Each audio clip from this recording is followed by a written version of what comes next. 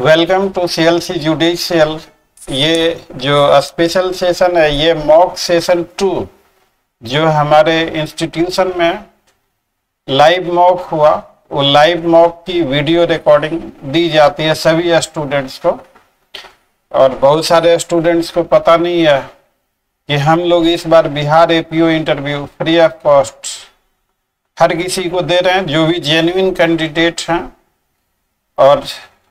तमाम उन स्टूडेंट्स जो बिहार एपीओ इंटरव्यू की तैयारी करें उनके लिए यूट्यूब के जरिए जो हम लोगों के लाइव क्लास में जो मॉक हो रहा है उसकी as it is video recording के साथ यूट्यूब पे पेश कर रहे हैं इससे आपको काफ़ी लाभ होगा और अगर आप डायरेक्ट मॉक में पार्टिसिपेट करना चाहते हैं हमारे साथ जोड़ना चाहते हैं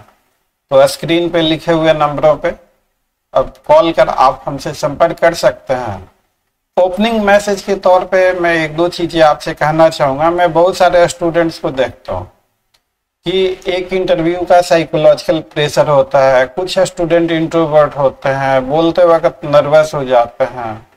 तो आप ये मान के चलिए कि जो बिहार एपीओ का टॉपर होगा और आप आप दोनों में टॉपर में और आप में कोई बहुत ज़्यादा का अंतर नहीं हो देखिए लॉ एक ऐसा सब्जेक्ट है कि जब थोड़ा समय गुजरेगा तभी आप इसे अच्छे ढंग से बोल सकते हैं अभी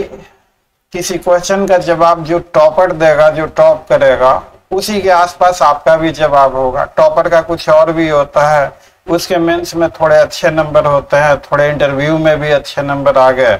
तो रैंक वगैरह उसका आ गया तो अब देखिए अब इंटरव्यू में तो जो आपका है आप अच्छे नंबर ला सकते हैं इंटरव्यू में लेकिन जो मेंस में जो आपके नंबर आ चुके हैं वो आ चुके हैं तो पॉइंट नंबर वन कि किसी भी हालत में अपने आप को अंडर एस्टिमेट और ओवर एस्टिमेट दोनों में से कोई नहीं करना ना ही अंडर एस्टिमेट ना ओवर एस्टिमेट पॉजिटिविटी बना के रखना है अगर आपने पॉजिटिविटी बना के रखी हुई है तो आपकी इफिशियंसी आपकी मेंटल कैपेसिटी आपकी यादाश्त की ताकत आपकी जितनी मेमोरीज ये चार गुना ज़्यादा काम करती हैं और ये मेडिकल साइंस के द्वारा प्रूवन फैक्ट है मैं खुद नहीं मेडिकल साइंस के हिसाब से तो चाहे जो मर्जी हो जाए अपनी पॉजिटिविटी नहीं खोना है एनर्जी बना के रखना है कामयाबी अवश्य मिलेगी और आप मेरा एक छोटा सा संकल्प है हमारे इरादे कुछ और हैं आप हमसे जुड़िए हमारे मिशन में पार्टिसिपेट कीजिए अपने सपने को साकार कीजिए देखिए इस मॉक को देखिए ये मॉक पार्ट टू है आ, कल का मॉक पार्ट थ्री ऐसे हम लोगों ने जिस दिन बिहार का रिजल्ट निकला था उसके अगले दिन से ही मॉक शुरू कर दिया आपका जितना ज़्यादा से ज़्यादा मौक हो हर सब्जेक्ट को टच करते हुए मौक हो तब आप मिरर प्रैक्टिस करें तो आपके लिए काफ़ी हेल्पफुल हो सकता है आपके कमेंट्स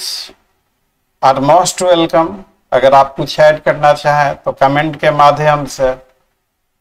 नंबर्स लिखे हुए हैं स्क्रीन पे नंबर्स आप कॉल कर सकते हैं कमेंट्स कर सकते हैं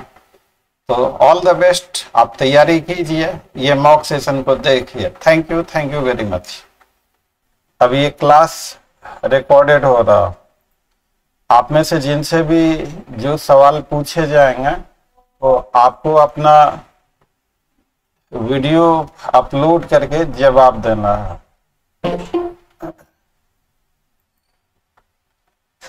है टू बिगिन विथ हम लोगों के सामने एक बहुत बड़ी चुनौती है रादर एक चैलेंज है बहुत बड़ा चैलेंज और चैलेंज वो है कि जो स्टार्टिंग जो आपका ओपनिंग क्वेश्चन होगा इंटरव्यू में आपका जाते के साथ ही पहला क्वेश्चन होगा कि आप अभी फिलहाल क्या कर रहे हैं तो आप हमेशा एक चीज को ध्यान में रखिएगा आपका मीडियम जो भी हो आप भूल जाए अपने मीडियम को आपसे इंटरव्यू बोर्ड ने अगर हिंदी में सवाल किया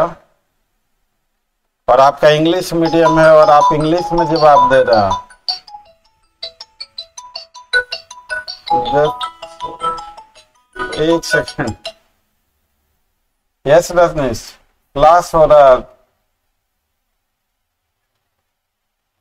फॉर्म नहीं भरा होगा आपने इसलिए लिंक नहीं मिला होगा अच्छा फॉर्म भर दिया आपने तो शायद स्क्रीन शॉट नहीं भेज पाए इसलिए मैं आपको अब भी भेज देता हूँ एक अलग से लिंक आप ज्वाइन कर लीजिए एक मिनट आज एक दो दिन तक ये रहेगी दिक्कत just one second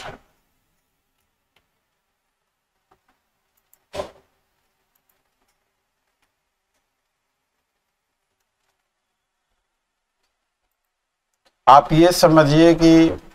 initial burden अगर आपने डिस्चार्ज कर दिया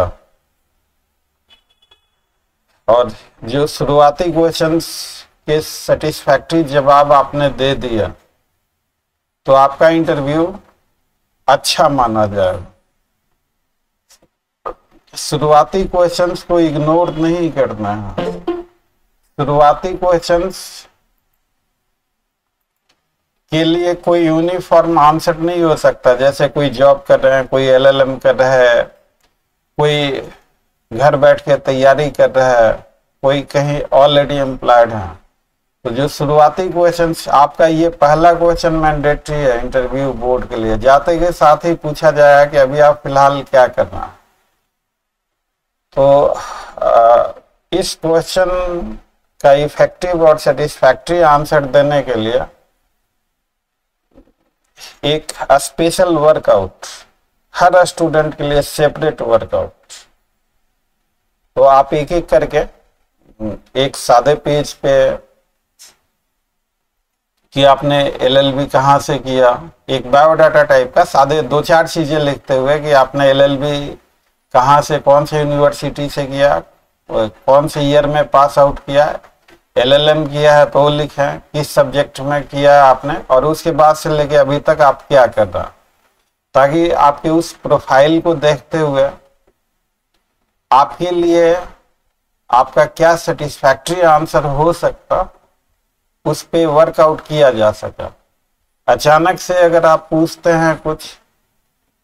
और अचानक से उस पर बगैर वर्कआउट किए अगर कोई जवाब दिया जाता है या जवाब बनाया जाता है तो मैं उसे ठीक नहीं मानता लेटेस्ट हैव टाइम आप भी अपना समय लीजिए मैं भी अपना समय लेके और उस पर प्रॉपर तरीके से वर्कआउट करते हुए यस अजय पूछ रही है यस यस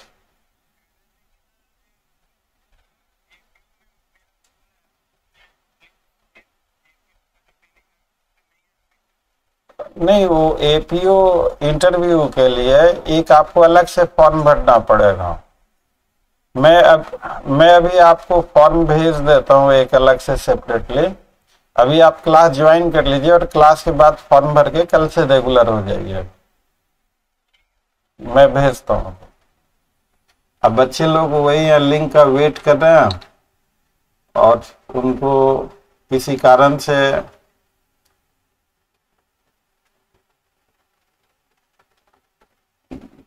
उनको रुकिए लिंक बहुत सारे बच्चे लोगों को ये समस्या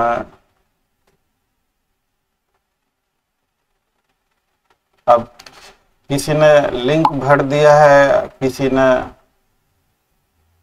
अब लीजिए वो लिंक चला गया गलती से दूसरे ग्रुप में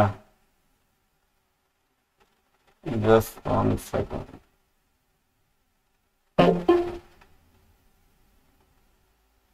आज क्लास डिस्टर्ब रहेगा पूरा क्लास ऐसे ही डिस्टर्ब रहेगा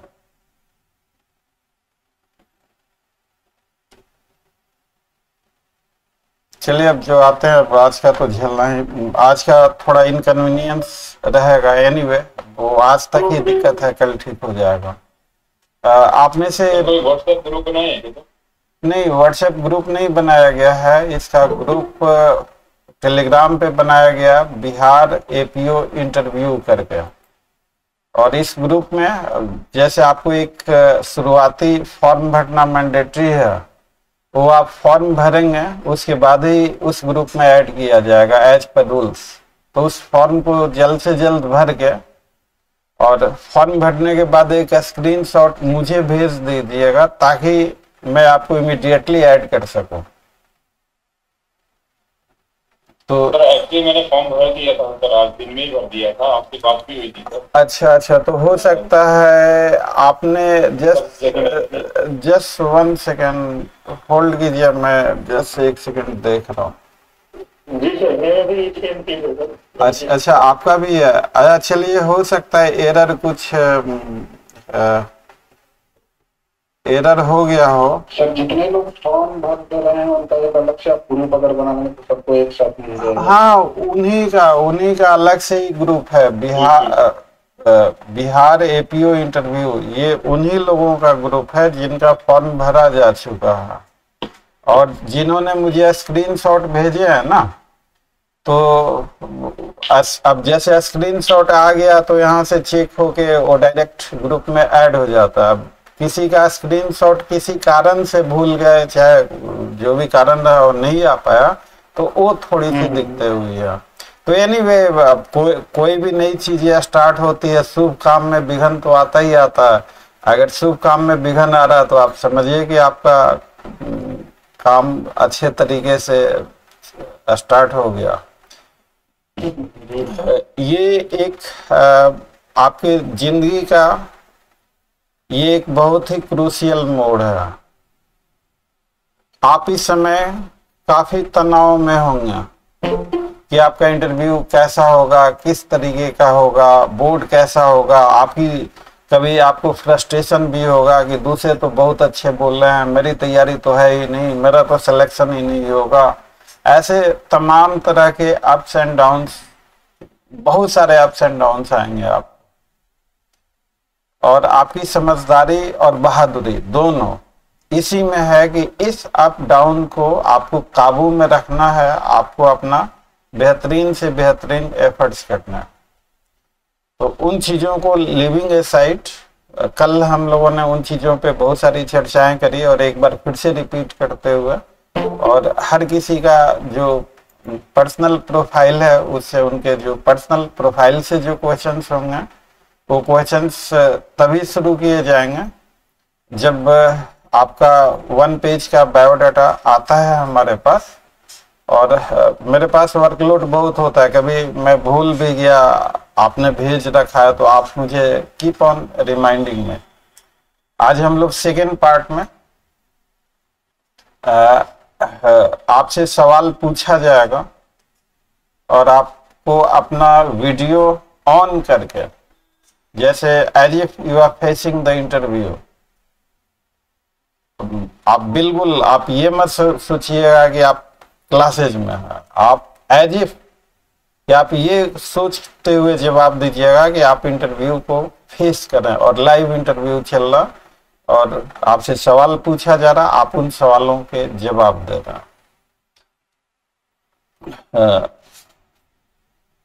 एविडेंस uh, जो है एविडेंस का रोल क्या है what is the role of evidence yes Vikas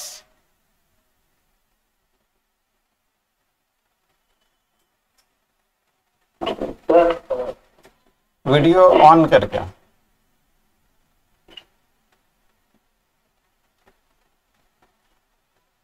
evidence का मुख्य रोल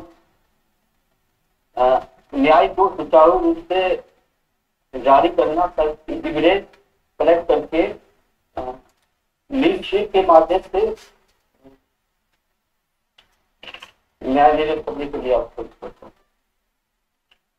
एक्चुअली सही तो मैं इस बात को कलेक्ट नहीं कर दूँ नहीं उसी चीज को सही से बोलने के लिए मैं इसी चीज को कह रहा हूँ बार बार कि आप जानते हैं एविडेंस आपने हजारों बार पढ़ा होगा एविडेंस एविडियर वर्ड से लिया गया to make the things apparent to bring the truth ये आप जानते हैं अधिकतर बच्चे लोग जानते होंगे लेकिन एक इंटरव्यू का प्रेशर होता है आप देखिए यहाँ पे प्रेशर है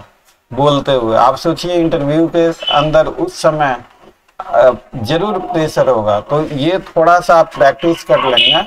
तो उस प्रेशर को काफी हद तक मिनिमाइज किया जा सकता है और इसी का नाम मॉक है कि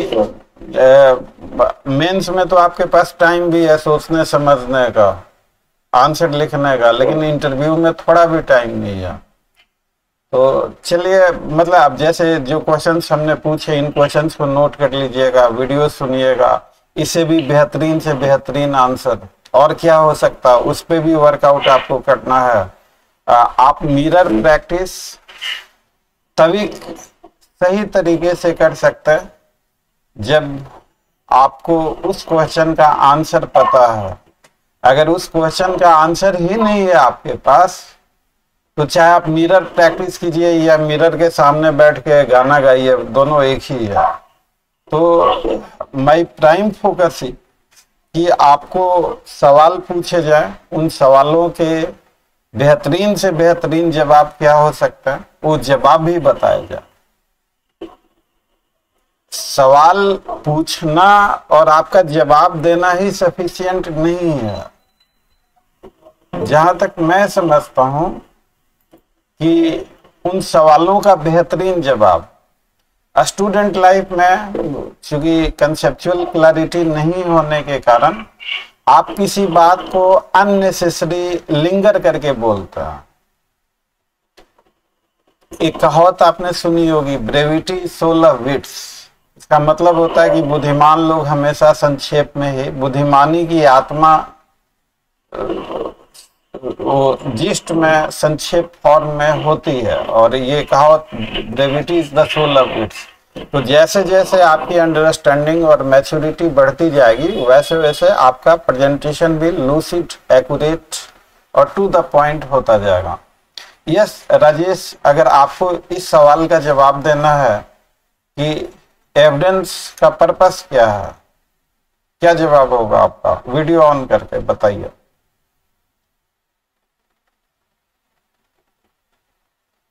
डॉक्टर तो जो है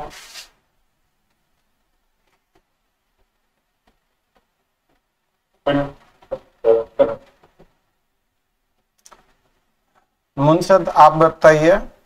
यही this question what is the purpose of evidence sir it's mine yes uh, yes yes you can try yes yes you can try this question my आपका मीडियम हिंदी है अंग्रेजी इंग्लिश मीडियम है so yes does this question uh, goes to you and the question is what is the purpose of evidence? The purpose of the evidence is to specify or infer the truthfulness of sorry ascertainment of truthfulness of text. ठीक है आपने इतना कहा अगर इसे कहा जाए to bring the truth before court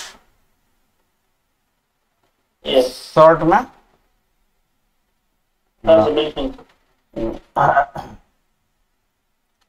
चलिए आप लोग ट्राई मतलब कोई जरूरी नहीं है कि इस सवाल का to bring the truth before court this is the only perfect and correct answer ऐसा नहीं है इससे भी अच्छे आंसर हो सकते हैं आपको लगातार कोशिश करते रहना है कि सर ने बताया उससे भी कोई अच्छा आंसर हो सकता है या नहीं हो सकता देखिए टू बी वेरी ऑनेस्ट मैं एक साधारण इंसान हूँ मैं I never claim myself to be Einstein आप यहाँ पे आपने ज्वाइन किया है कि आप अच्छा से अच्छा आंसर दे सके तो हमारे आंसर पे आपको फुल स्टॉप नहीं लगाना है कि सर का आंसर है और बेहतरीन आंसर है आपको खुद फाइंड आउट करना है ये आंसर कैसा है क्या इसे कोई और बेहतरीन आंसर भी हो सकता अगर आपको मिलता है उससे बेहतरीन आंसर तो ज़रूर हमें भी बताइए शेयर कीजिए हमारे साथ अगर आपका आंसर बेहतरीन है तो हम उससे ओके कर देंगे yes you can go with this answer no issue Munsad आप इस क्वेश्चन को ट्राई कीजिए what is the purpose of evidence देखेंगे जस्ट एक बच्चे लोग का यस रोशन हाँ फॉर्म भर दिया था नहीं आपको इंटरव्यू का भी चलिए अभी हम आपको क्लास लिंक अलग से भेज दे रहे हैं और आप क्लास के बाद फॉर्म भर दीजिएगा ये इंटरव्यू का एक अलग से एडमिशन फॉर्म भरा जा रहा है अब अभी आपको हम भेज रहे हैं लिंक आज डिस्टरबेंस मैंने कहा ना कि रहेगा और इसलिए जस आज हम लोग अब क्या किया जाए जितना आज हो सकता है इन हालातों में उतना करें something is better than nothing sometimes हम लोगों को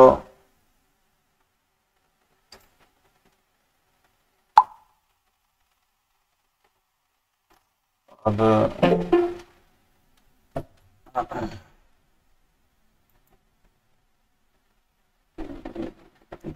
yes, Manish, you wish to say something? Uh, just uh, um, after Munsad, I am coming to you. After Munsad. Yes, Munsad, try this question. What is the purpose of evidence? Sir, the purpose of uh, evidence is just to bring the truth before God for ascertaining the who is ultimate guilty and who should be punished for that offense. Hmm. Uh, देखिए एक चीज और आ, आप अपने answer को जितना छोटा रखेंगे उतना ही कंफर्टेबल होंगे और सेकेंडली जो अभी मैंने नोट किया कि जब आप आंसर दें तो जहां पे आपका कैमरा है आप जो आपका स्क्रीन है जिस किसी मोड से है तो आप बिल्कुल मुखातिब होकर दें अब मान लीजिए कि आपसे सवाल सामने वाला आप ऐसे सोच के तो that is not the correct way of answering gesture posture भी वो ध्यान दे या ना दें लेकिन हम लोगों को ध्यान देना है तो और बाकी बच्चे लोग भी जो हैं ये सारी चीजें आप सबों के लिए कॉमन है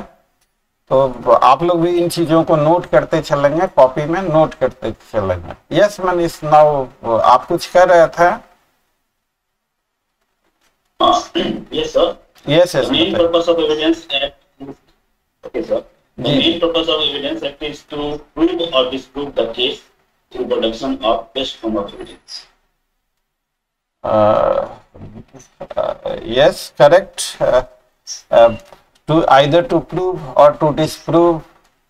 a case. The case. Uh, this is a correct definition. Yes. Elaborate करना होगा if,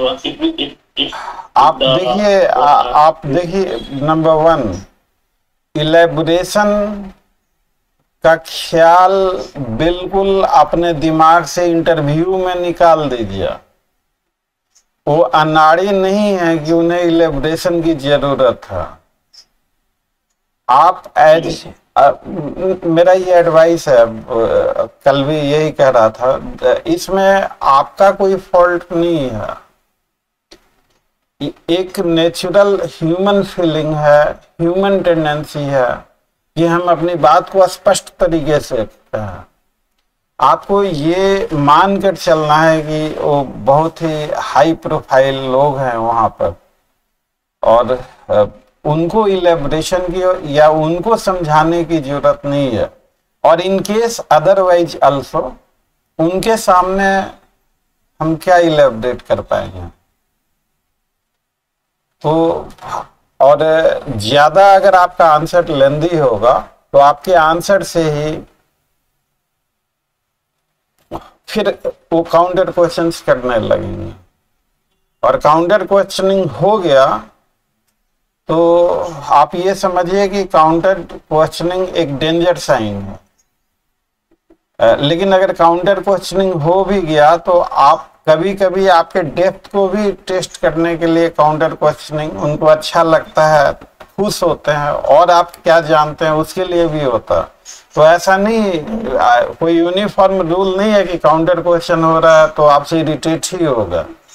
हो सकता है खुश होके आपसे सेटिस्फाई होके भी कर सकता है तो निगेटिविटी नहीं रखना है आपको चाहे जो अंजाम हो नो निगेटिविटी एट ऑल चाहे जैसा भी आपका इंटरव्यू हो आपको सिर्फ सिर्फ अपना अब the purpose of evidence is either to prove or disprove a case. Uh, mm, correct?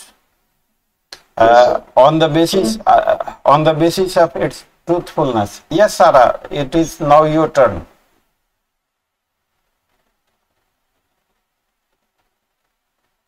Yes, sir. Yes. According to section three, according to section three, evidence means to uh, evidence to prove or, or to ascertain, to make trivial, or to bring uh, proof of the fact before the court. Are you appearing as a candidate or are you teaching them?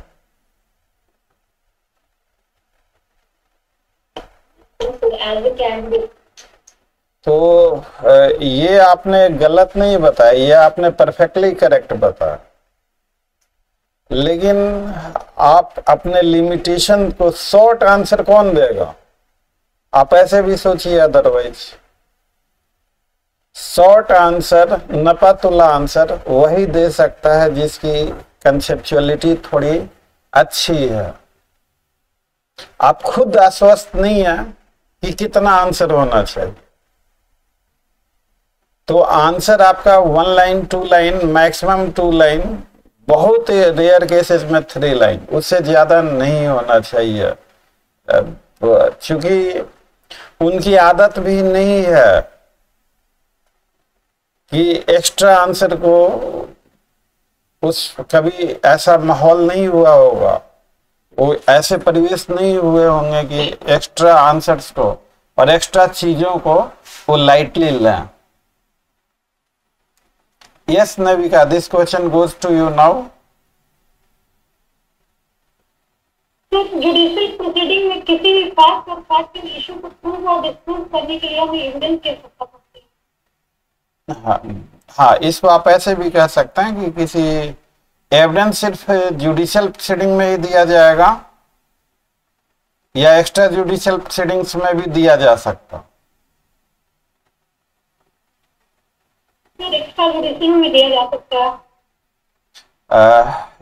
Evidence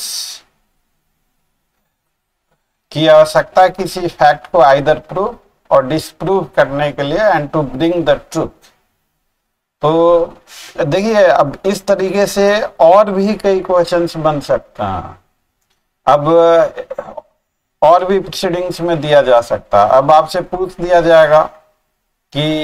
वो कौन से proceedings हैं जहां पे evidence can be legally taken on oath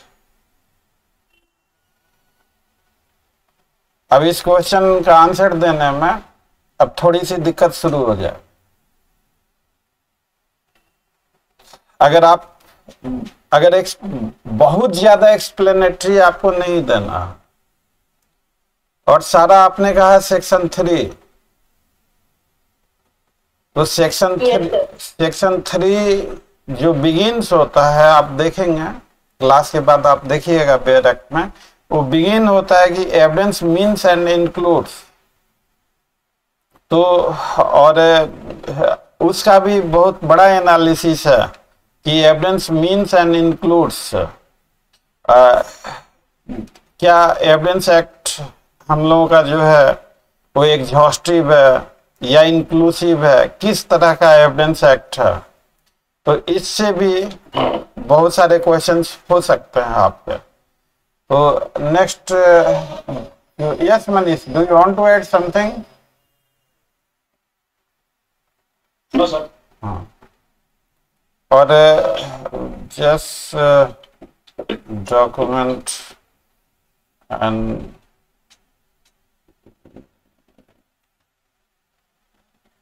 हाँ।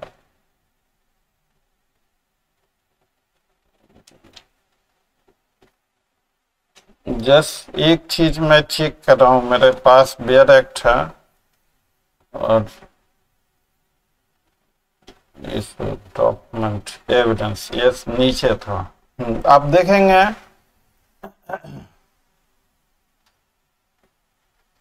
जो evidence act का definition है all statement which the court permits. Uh, uh, Krishna, uh, now this next question goes to you. The definition of evidence. तो किस तरह का definition है definitions are evidence is two uh, there are two kinds of evidence documentary evidence or oral evidence आ, मैं आपसे ये कहूंगा कि जो एविडेंस एक्ट का ओवरऑल डेफिनेशन है क्या वो एग्जॉस्टिव डेफिनेशन है या नहीं है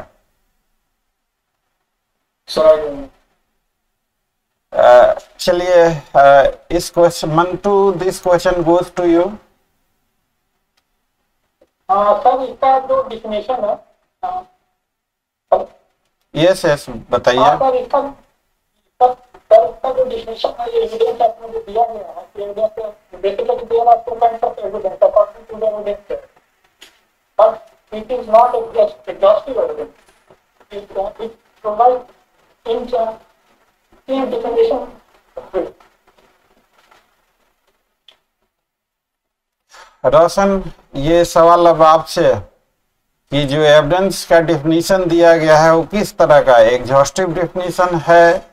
या नहीं है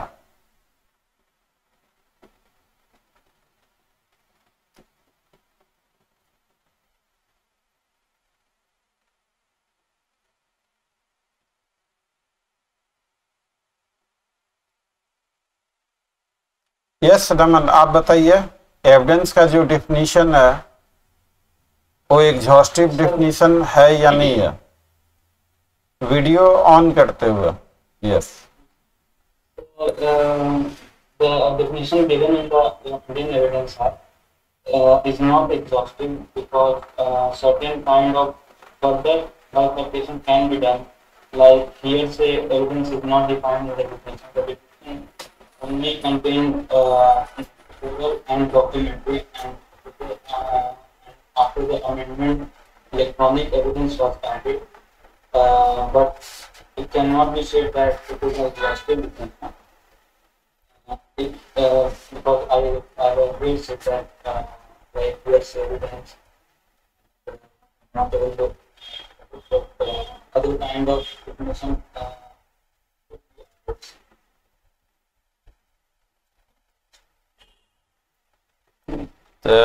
yes Santosh now it's your turn आप बताइए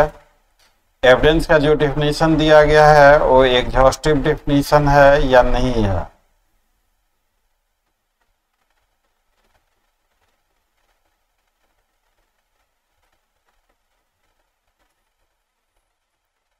सुमन आप बताइए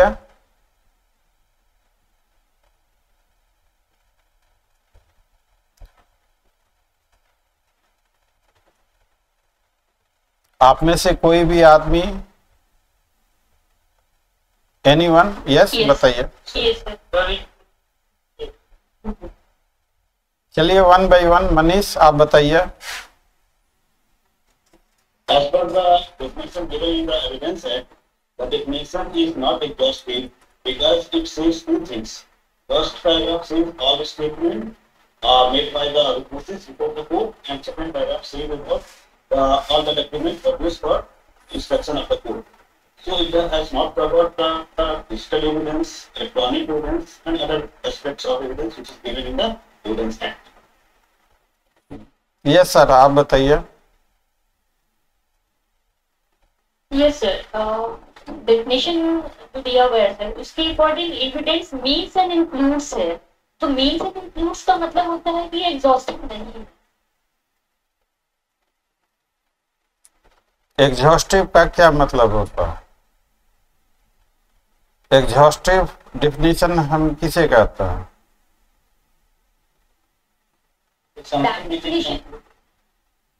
चलिए one by one yes Sarah आप ट्राई कीजिए फिर रमन से पूछेंगे सर डेट डेफिनेशन जिसके बाद कोई और उसमें एग्जिस्ट ना करो मतलब वो एग्जॉस्ट कर गया उतना ही वो लिमिटेड डेफिनेशन है यस रमन आप बताइए single something does not need something to be it's complete in it in itself yes और भी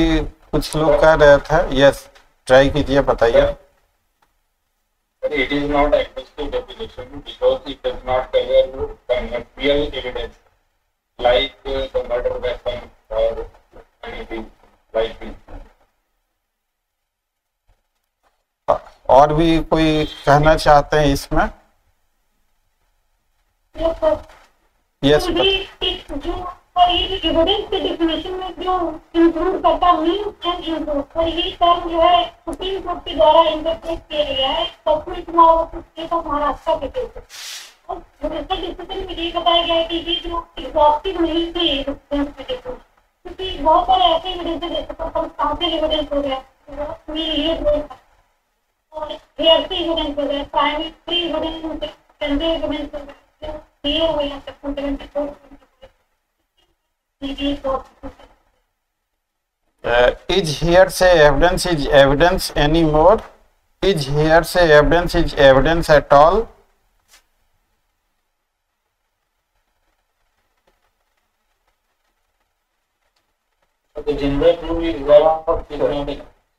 यस यस बताइए यस संतोष बताइए generally here the evidence is not considered in evidence aspect hearsay evidence is no evidence at all अब देखिए मैं बताता हूँ आप मैं एग्जॉस्टिव डिफिनीशन इस तरह का डिफिनीशन कंप्लीट डिफिनीशन होता उसमें किसी भी नई चीज को ऐड करने की गुंजाइश नहीं होती क्योंकि एविडेंस एक्ट का सेक्शन थ्री जो एविडेंस का डिफिनीशन है मीन्स एंड इंक्लूड्स कोई मतलब कि एविडेंस का मतलब दो ही तरह का एविडेंस हुआ और ये इंक्लूड्स इट डजेंट मीन कि other type of evidences can not be included other type of evidences can also be included and on the basis of this definition other type of evidence like electronic evidence like other evidences have included तो ये एक आपका theme हो गया subjective कि किस तरह का डिफिनीशन है नेविका ने बहुत सही तरीके से केस लॉ को भी चर्चा किया आप जानिए इन सारे चीजों को अपने स्टोर में रखिए आवश्यकता हो अगर आगे वो पूछते हैं तब जवाब दीजिए तो अगर आपसे सीधा पूछा जाए कि एविडेंस का डिफिनीशन क्या एग्जॉस्टिव है या नहीं है तो आप सीधा एक लाइन में कहिए कि सर ये एग्जॉस्टिव डिफिनीशन नहीं है क्योंकि ये डिफिनीशन ही शुरू होता है मीन्स एंड इंक्लूड से तो जो डिफिनेशन मीन्स एंड इंक्लूड से शुरू होता है तो और भी चीज़ों को उसमें ऐड करने की पॉसिबिलिटी होती हैं इसलिए ये एग्जॉस्टिव डिफिनीशन नहीं कहा जा सकता एग्जॉस्टिव डिफिनीशन में किसी और चीज को उसमें ऐड नहीं किया जा सकता तो अगर ये आपने एग्जॉस्टिव को इस तरीके से दिया तो अगले क्वेश्चन के लिए तैयार हो जाइए लिमिटेशन एक्ट एग्जॉस्टिव है या नहीं है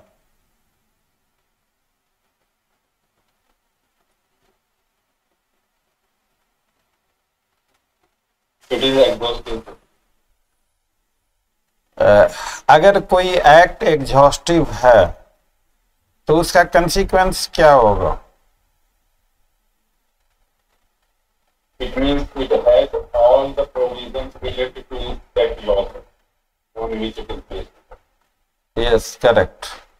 जो एग्जॉस्टिव एक्ट या एग्जॉस्टिव डिफिनीशन होते हैं तो उसमें कुछ एडिशन या डिलीशन नहीं हो सकता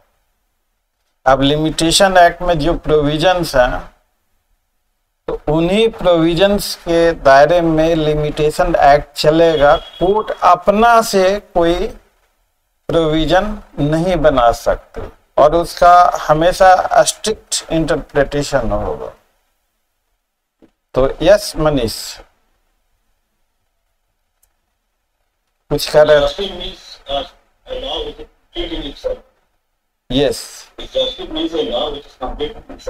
and it does not require any support from other nation. Yes. The law itself is complete. Yes. तो ये आपका एक ये हो गया एग्जॉस्टेड और next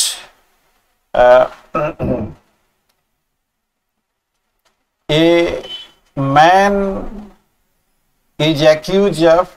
murder and allegation against him was not proved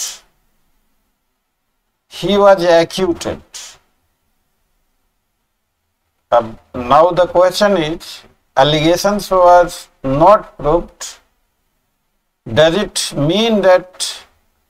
since he was innocent and therefore allegation was not proved?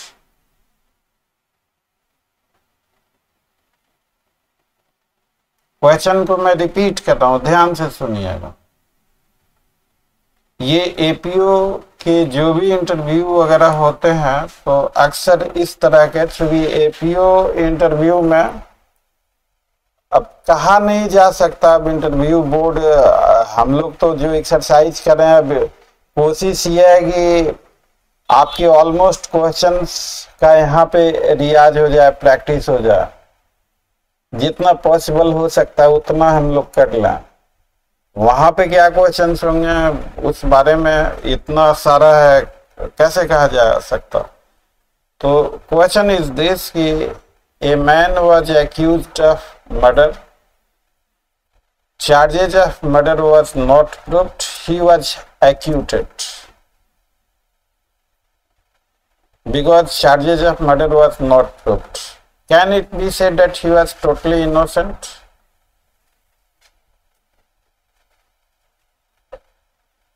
Yes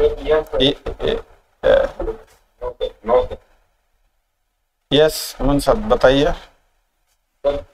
equital if it equital does not mean that he is innocent equital means that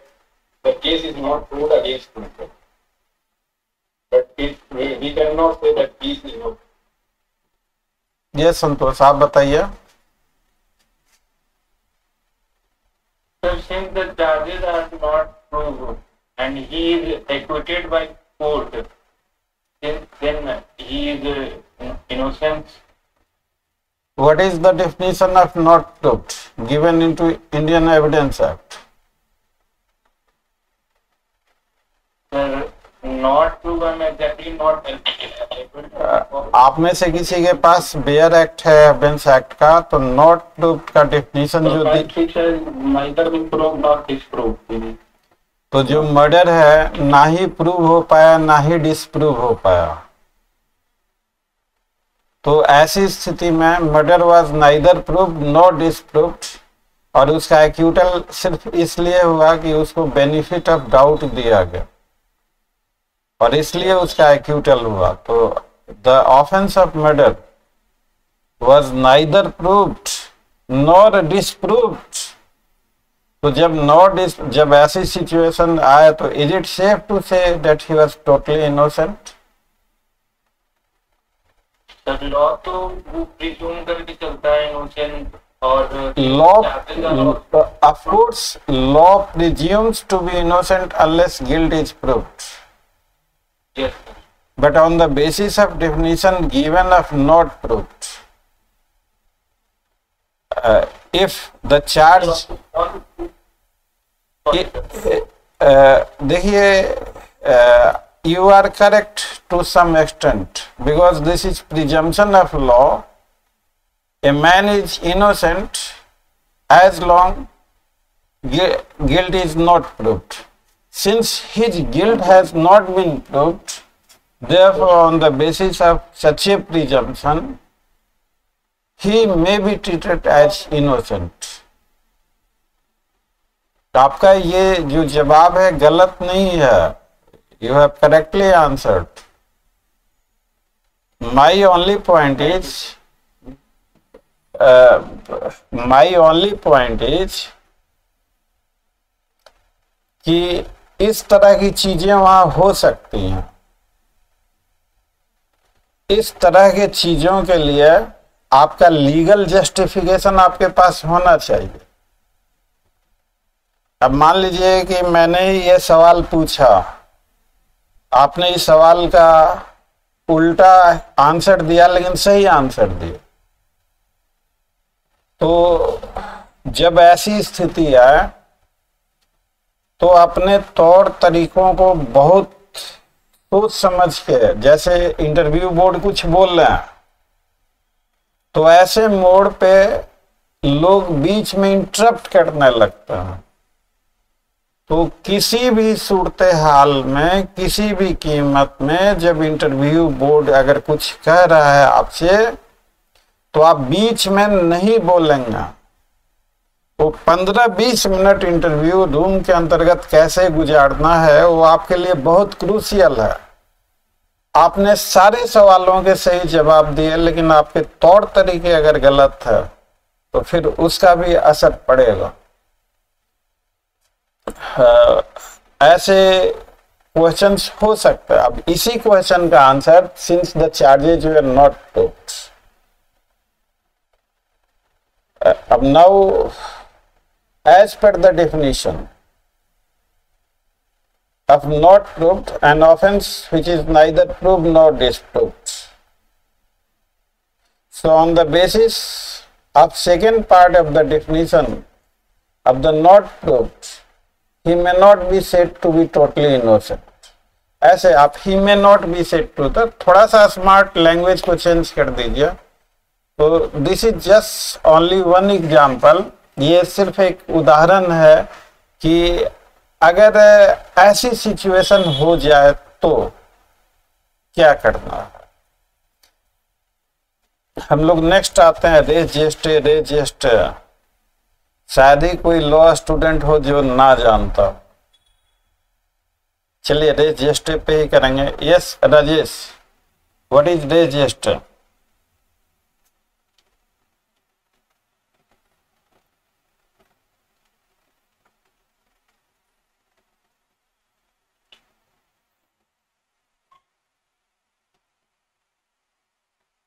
with the with other curve, gravity one.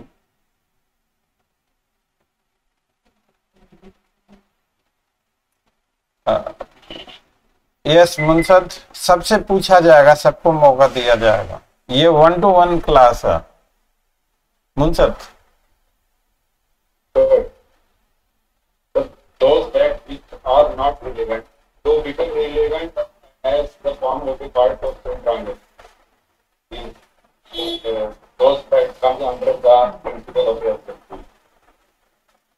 Santosh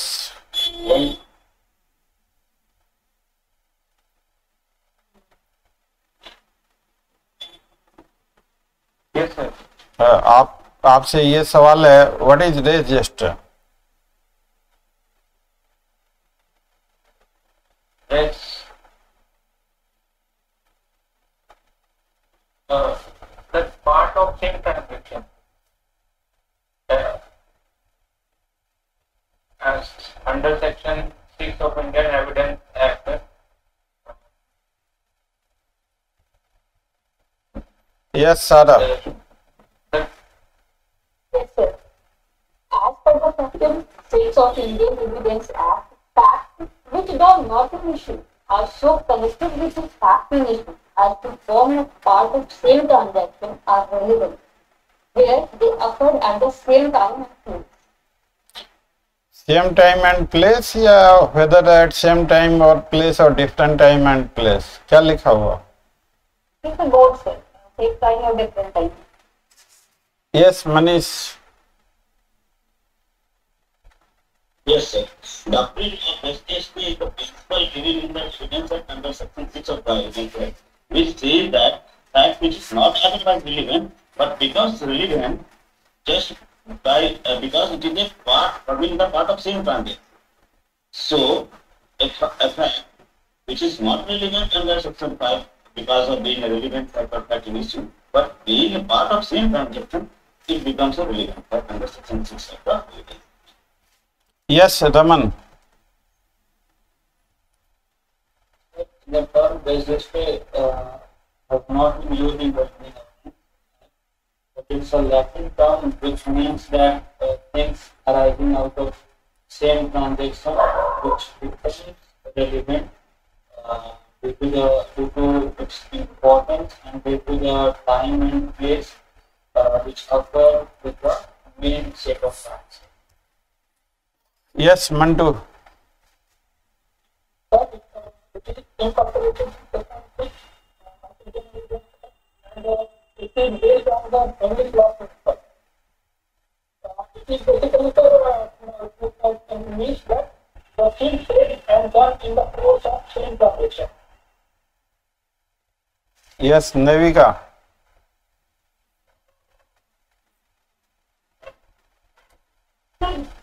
जो डॉक्टरी with चाहिए वो clearly specially उनको नहीं Indian evidence you Connelly you have something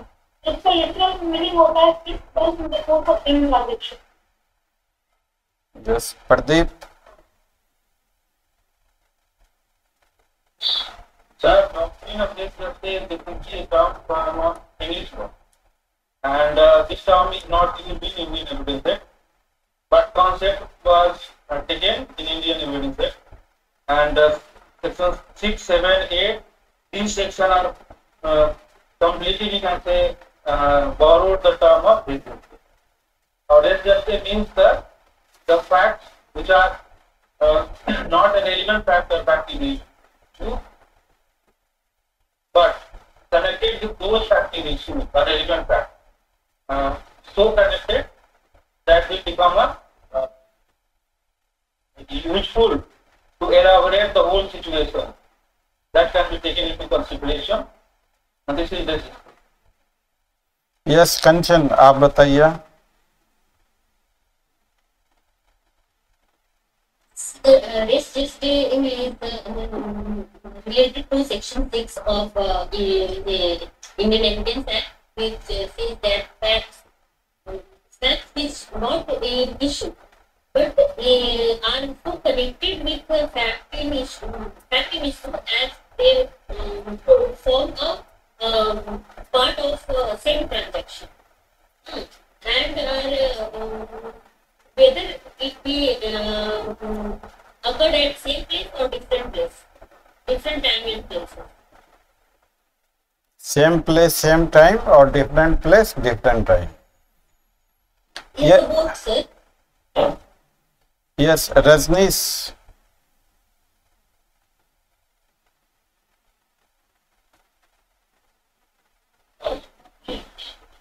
So Rajneesh is the principle of uh, Death which mentioned under section 6, which is connecting the main, main sets with the main goal at the same time, same place, of different times, different place.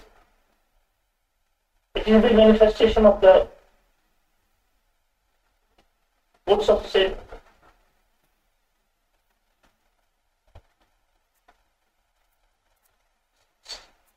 The thoughts of sin conviction. Yes, Roshan.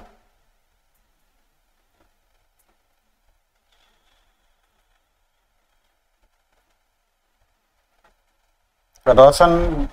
आप बताइए now it's your turn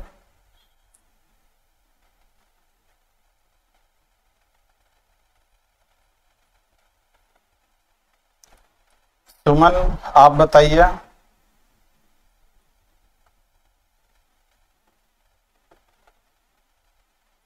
Vikas yes yes Suman please बताइए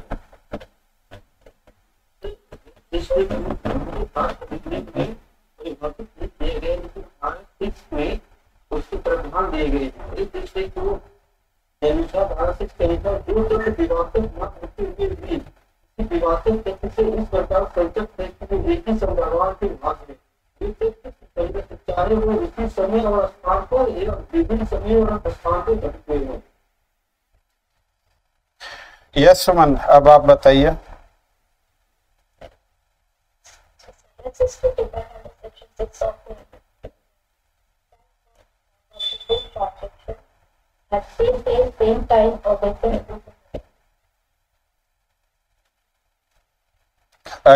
आप में से कोई रह गए by mistake अगर मैंने आप आप में से किसी से नहीं पूछा तो जो रह गए हैं वो बताइए yes yes please yes is just a little Latin uh, word also, or it means uh, things done. Basically, uh, things done is a course of same transaction. But can not issue or so connected to the transaction issue or it could also be different payment flow after the transaction. आप सभी लोगों ने सही definition दिया आ, लेकिन इस definition को हम लोग थोड़ा और अच्छा भी कर सकते हैं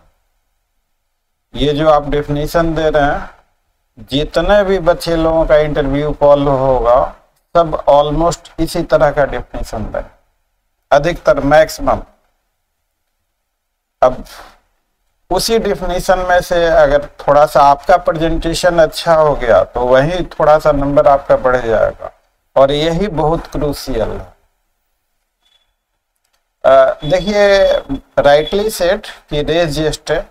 things done into a course of same transaction अगर इसे शॉर्टेस्ट पॉसिबल में ये ठीक है सेक्शन सिक्स में दिया गया ठीक है लैटिन वर्ड है ये ठीक है डॉक्ट्रिन ऑफ इंग्लिश लॉ है आ, वो सारी चीजें ठीक है आप डॉक्ट्रिन ऑफ इंग्लिश लॉ कहते हैं तो फिर पूछ दिया जाएगा कि भैया रेज जेस्ट इंडियन लॉ में क्या है और इंग्लिश लॉ में दोनों में डिफरेंस क्या है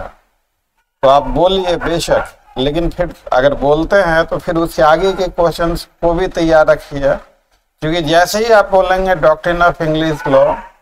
वैसे ही चांस उनका बनेगा कि फिर वो डिफरेंस पूछे तो मैं डिफरेंस भी आपको बता रहा हूँ और रेस जेस्टे भी समझा रहा हूँ रेस जेस्टे का सिंपल सा लॉजिक है सबसे छोटे शब्दों में facts forming part of same transaction are relevant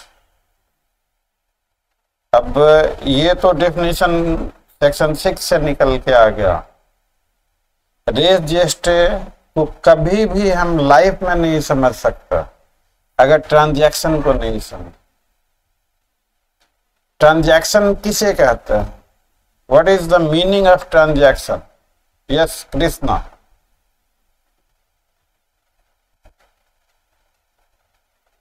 transaction transactions, I can say होते हैं जो कनेक्टेड होते हैं टुगेदर और इसका रेफरल होता है सिंगल्स या नेक प्राइम कांटेक्ट या कुछ ऐसे wrong wrong Pradeep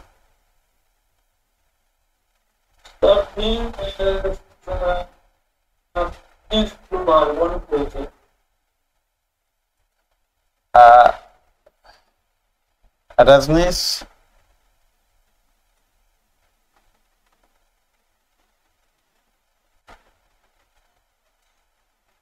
the continuity of facts in the same event and it will be connected to each other. Suman.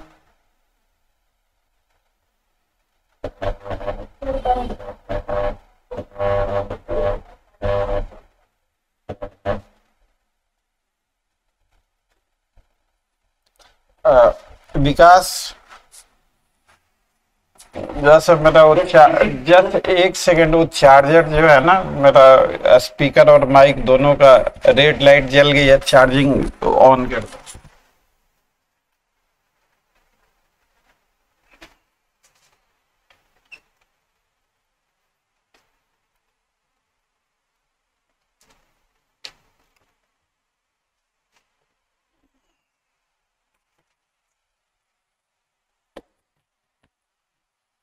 Ji बताइए आप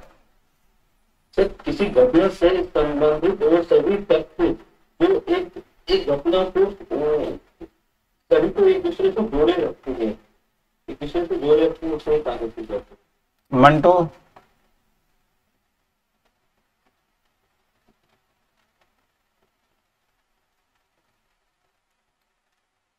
नेविका सारा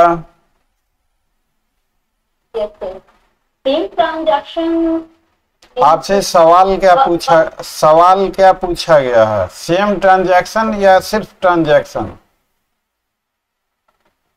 ट्रांजैक्शन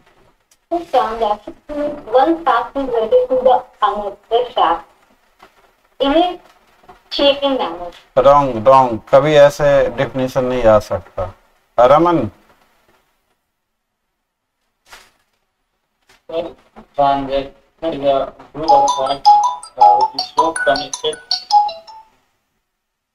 जी बताइए Yes, sir. Transaction is a group of facts, sir, which is so connected together which can be referred by a single name, sir. Uh, no transaction का मतलब होता है event और incidence जैसे मर्डर हुआ तो murder is a transaction cheating हुआ कहीं पे तो cheating is a transaction rape हुआ किसी का तो rape is a transaction transaction is the main event you cannot say main event any type of event तो देश जस्ट मैं अब दो चार लाइन आपको इंटरव्यू यस प्लीज नेविका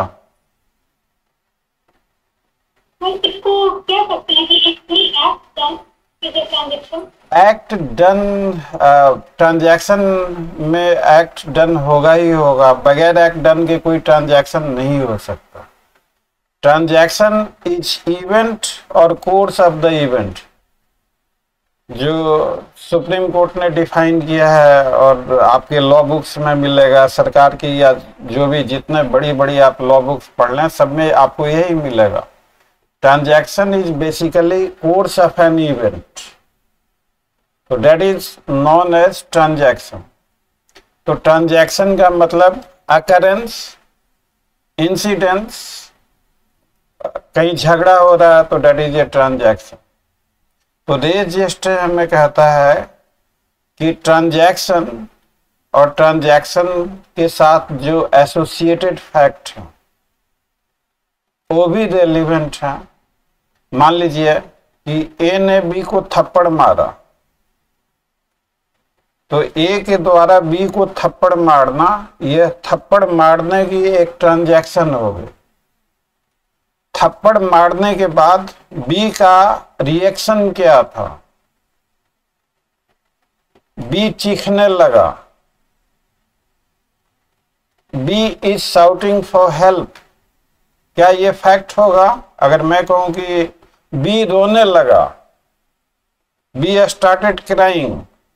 तो ये जो पार्ट ऑफ स्टेटमेंट है कि बी स्टार्टेड क्राइंग क्या इसे हम लोग फैक्ट कह सकते हैं within meaning of Indian Evidence Act? Yes, sir. तो हाँ, जैसे मान लीजिए कि किसी का रेप हुआ तो रेप के बाद या रेप के दौरान उसने शोर मचाए तो the victim shouted for help तो विक्टिम ने जो साउट करी वो भी एक फैक्ट हो तो रेज हिस्ट्री सिर्फ ये बताता कि not only the transaction but the facts connected with दो सर्कमस्टांसेस और यही डिफिनेशन दिया हुआ facts do not in issue अब लड़की ने शोर मचाया इसलिए शोर मचाया कि उसके साथ कुछ बुरा हो रहा तो रेज हिस्ट्री कल अभी तो टीचिंग तो नहीं हो सकती अभी जस्ट ये हम लोग अपने रेगुलर कराते हैं अपने कोर्सेज में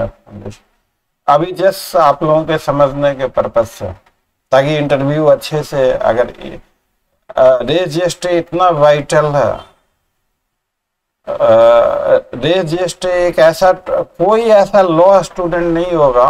जो नहीं जानता होगा हर किसी का और उसी आंसर में अगर हम अच्छे से समझें और अच्छे से अगर उनको पेश करें तो वहीं पे थोड़ा हम लोगों को एडवांटेज मिलने के चांसेस बन जाता तो देखिए मान लीजिए सिंपल सा लॉजिक है कि कोई भी फैक्ट आइसोलेशन में नहीं देखना principal fact is to be seen into the light of its surrounding fact अगर मान लीजिए मैं आपसे कहूं कि principal fact is to be seen into the light of its surrounding fact क्यों to get a complete picture of truthfulness और untruthfulness अगर मान लीजिए कि किसी लड़की के साथ रेप हो रहा और रेप होने के दौरान उसने न शोर मचाया न डरी उसने किसी भी तरह से रिसिस्ट नहीं किया अगर रेप के ट्रांजैक्शन के साथ इस तरह का दूसरा फैक्ट है कि नो रेसिस्टेंस एक्यूज के पास कोई गन नहीं था एक्यूज से वो डरती नहीं थी और जो victim was a police officer तो अगर इन सारे फैक्ट को अगर एक साथ हम देखते हैं तो rape might not have been committed there may have been consenting sex तो अगर हम प्रिंसिपल फैक्ट को उसके सराउंडिंग फैक्ट्स हैं जो उसके साथ एसोसिएटेड फैक्ट्स हैं उनके साथ हम जोड़ के देखते हैं तो हमें उस घटना का कंप्लीट पिक्चर मिलता and a question into DGS was asked as to why facts forming part of same transaction is relevant इसको जो एक्सप्लेनेशन एक शॉर्ट एक्सप्लेनेशन हमने आपको दिया ये आप समझे इसको अगर कोई डाउट है तो पूछ लीजिए क्लियर कर लीजिए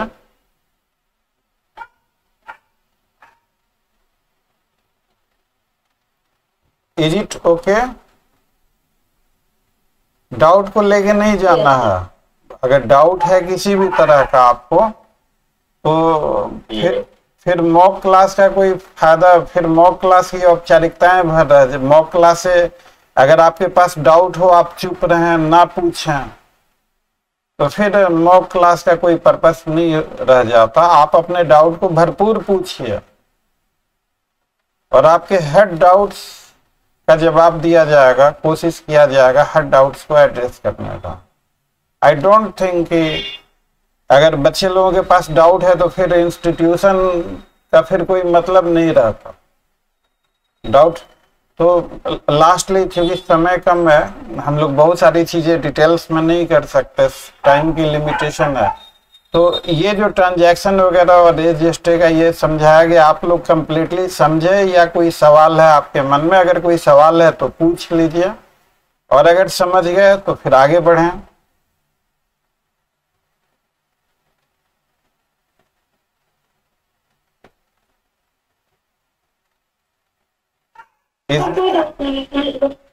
इस... आ... अब अगला सवाल है डीजीएस वाला कि वाई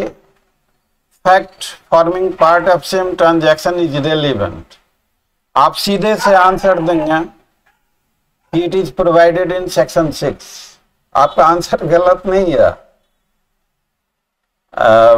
आंसर आपका परफेक्टली करेक्ट है एब्सोल्युटली करेक्ट है लेकिन इसी का अगर एक थोड़ा सा एक्सप्लेनेशन आ जाए थोड़ा सा हल्का सा एक दो लाइन का तो आपका और भी ये आंसर बेहतरीन हो जाएगा सबसे बेहतरीन आंसर ये हो सकता है थोड़ा सा लिटिल एक्सप्लेनेशन हम्म, अब अधिकतर बच्चे लोग से अगर पूछा जाए कि facts forming part of same transaction are why relevant तो करीब अधिकतर बच्चे लोगों के मुंह से यही निकलेगा कि because it is provided in section six उनका आंसर गलत नहीं है but is this a complete answer आपसे पूछा जा रहा वाई आपसे क्या पूछा जा रहा इसका लॉजिक पूछा जा रहा आपसे ये नहीं पूछा जा रहा कि ये सेक्शन सिक्स में है अच्छा, चलिए इसी क्वेश्चन को ट्राई करते हैं इस क्वेश्चन का जवाब दीजिए कि as to why fact forming part of same transaction are to be relevant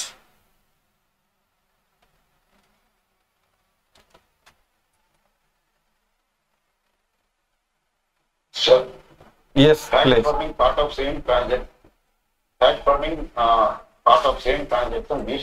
complete picture of the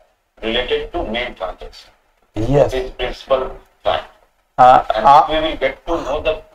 uh, मैं यहाँ थोड़ा सा थोड़ा सा ऐड करूंगा इंटरव्यू में बोल रहे हैं तो मेन ट्रांजैक्शन की जगह ट्रांजैक्शन इन क्वेश्चन कर सकते क्या मेन ट्रांजैक्शन को अगर सब्सटीट्यूट कर दें यहाँ पे कि ट्रांजैक्शन इन क्वेश्चन तो कैसा ठीक रहेगा यस सर प्रिंसिपल फैक्ट हाँ मतलब इसको देखिए सारे जिन जिन बच्चे लोगों का इंटरव्यू हो रहा है उनको अनाड़ी मत समझिए वो वो भी आप ही के लेवल के हैं तभी तो वहां तक उस लेवल कोई थोड़ा ज्यादा कोई थोड़ा कम यही माजरा है अगर यहाँ पे अगर आप ठीक से बोल पाए और अच्छे तरीके से बोल पाए तो यही थोड़ा सा नंबर आपको ज्यादा आ जाएगा आप उस बाउंड्री लाइन को क्रॉस कर गए तो आपका सिलेक्शन हो गया आगे बढ़ते हैं हम लोग अब doctrine of English law English law of res gestae and Indian law of res gestae इन दोनों में क्या अंतर है यस सारा इंग्लिश लॉ जो है बहुत ही नैरो शो करता है और इंडियन लॉ जो है वो बहुत ही वाइड है इसका डेफिनेशन इंडियन लॉ के अकॉर्डिंग सेम टाइम भी है और डिफरेंट टाइम है डिफरेंट प्लेस है डिफरेंट ट्रांजेक्शन लेकिन डिफरेंट ट्रांजेक्शन भी है different sorry sir different time different place है बट फॉरेन लॉ के according only same time same transaction foreign law और इंग्लिश लॉ के हिसाब से इंग्लिश लॉ इंग्लिश लॉ जितने भी कंट्रीज के लॉ है रजिस्टर के सारे के सारे इंडियन लॉ को फॉलो कर इंडियन लॉ को फॉलो करते हैं ये ठीक कहना ठीक नहीं होगा क्योंकि उनका लॉ और पहले बना इंग्लिश लॉ के प्रिंसिपल से दो कदम आगे इंग्लिश लॉ में रेजिस्ट वही होगा जो same time same place same time same place को मैं थोड़ा सा समझाना चाहूंगा मान लीजिए किसी लड़की के साथ गलत काम हुआ तो उस समय अगर वो चिल्लाती है तो रेप के ट्रांजैक्शन का पार्ट होगा उसका चिल्लाना लेकिन रेप होने के बाद वो पुलिस को कॉल करती है रेप होने के बाद वो घर जाती है और थोड़ी देर के बाद अपनी मम्मी को बताती है तो मम्मी को बताना रेप की घटना के बाद तो रेप कहीं दूसरी जगह हुआ उसका घर कहीं दूसरी जगह है तो टाइम गैप भी दोनों में हो गया या नहीं हुआ टाइम गैप तो। इंग्लिश लॉ में बेडिंग फील्ड का केस आप लोग पढ़ते होंगे बेडिंग फील्ड बेडिंग फील्ड के केस का फैक्ट किसी को याद है तो बताइए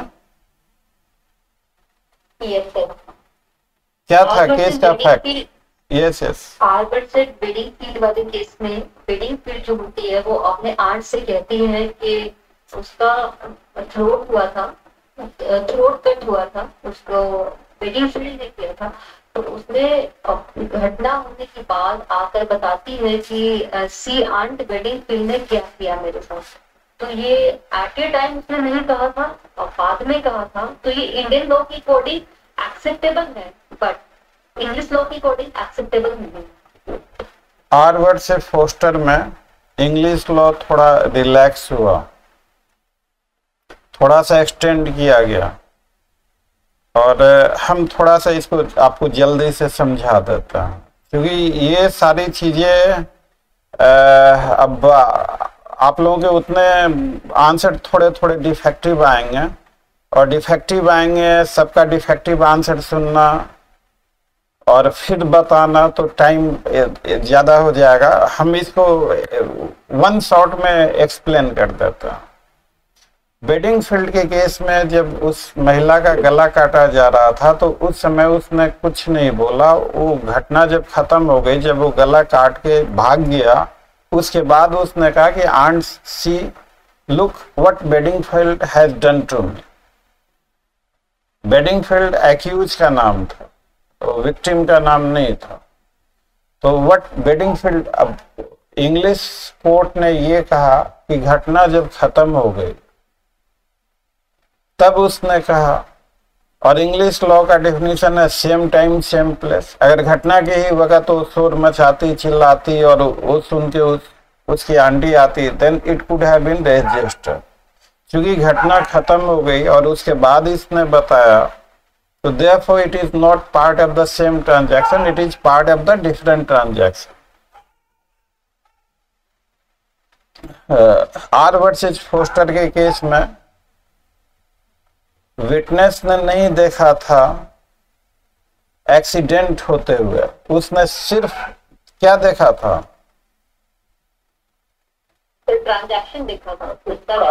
ट्रांजैक्शन देखा था या स्पीडिंग ट्रांजैक्शन देख देखिए अंदाज पे कुछ नहीं बोलना है उसने विटनेस ने स्पीडिंग व्हीकल देखा था या एक्सीडेंट होते हुए देखा था स्पीडिंग व्हीकल हाँ स्पीडिंग व्हीकल देखा था एक्सीडेंट होते हुए उसने नहीं देखा था जो विक्टिम था एक्सीडेंट का वो आया उसके पास और बताया कि उसका एक्सीडेंट हुआ तो एक्सीडेंट तो हो गया वो घटना ओवर हो गई उसके बाद विटनेस आके बताता है इसको कि उसका एक्सीडेंट हुआ तो बेडिंग फील्ड का लॉ वहां पे अप्लाई करते तो आर वर्सेज पोस्टर भी एडमिसिबल नहीं होता तो Bedingfield law was later on not found to be a good law और उस आर वर्सेज पोस्टर में एक लिबरल वाइड व्यू लिया गया और वहां से देखते देखते बहुत सारे कंट्रीज ने सोचा कि सेम टाइम सेम प्लेस अगर डिफरेंट टाइम डिफरेंट प्लेस भी होता है तो एक ट्रांजैक्शन से एसोसिएटेड जो चीज़ें हैं वो ज़्यादा रेंज कवर करेंगे ज़्यादा ट्रूथफुलनेस कंप्लीट ज़्यादा पिक्चर मिलेगा तो इसलिए बाकी कंट्रीज में डिफरेंट टाइम डिफरेंट प्लेस हमारे यहाँ uh, registry is not only the facts forming part of same transaction at same time and same place. It is also different time and different place is also written. वो देख लीजिएगा is that there कि different times and places bare act में check कीजिए same time same place और different time different place ये मिलेगा आपको लास्ट लास्ट लाइन में तो इसको उस तरीके से कर लीजिएगा और बेसिकली सेक्शन सिक्स का extension section seven section eight माना गया this is all based upon this gestae principle section seven का था ओकेजन कॉज इफेक्ट अभी हम लोगों ने चर्चा किया कि किसी लड़की का रेप हो रहा और उसने साउटेड फॉर द हेल्प तो ठीक है ट्रांजैक्शन का पार्ट हो गया same time same place rape हुआ जिस कारण से उसने हेल्प के लिए साउट किया तो is not this be called also the effect of the rape सोचिए एक सेकंड और सोच के बताइए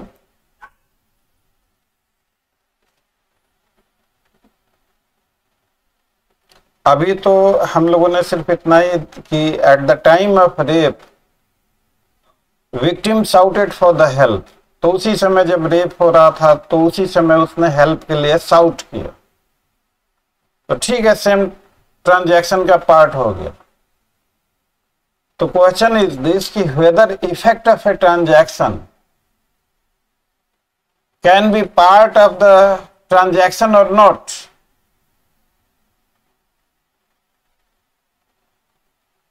just consider this statement for for a तो अगर मान लीजिए हमने बंदूक से गोली चलाई और उससे जो आवाज निकले तो बंदूक से गोली चलाना एक ट्रांजैक्शन हो गया उससे गोली चलाने से जो आवाज निकली वो उस ट्रांजैक्शन का एक दूसरा फैक्ट हो गया उससे कनेक्टेड है और गोली चलाने का इफेक्ट आवाज का निकलना होगा या नहीं होगा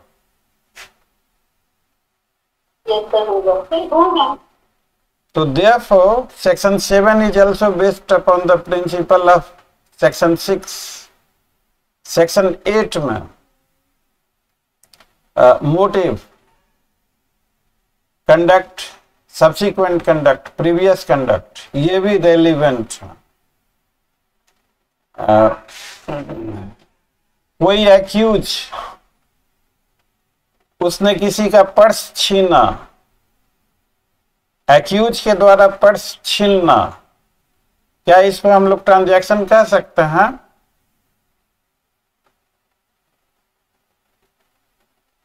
सोच के बताइए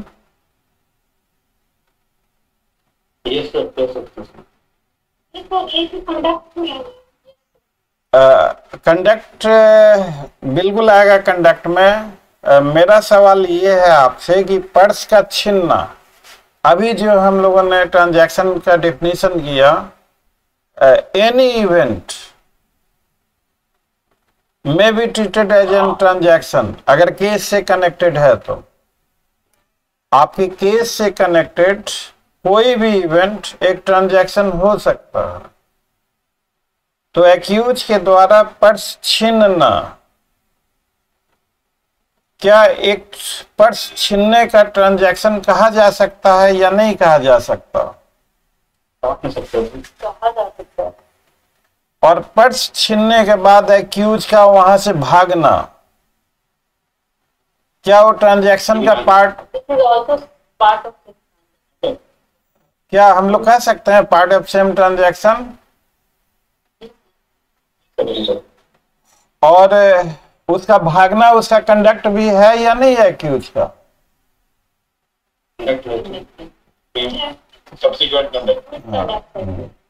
तो देखिए इसीलिए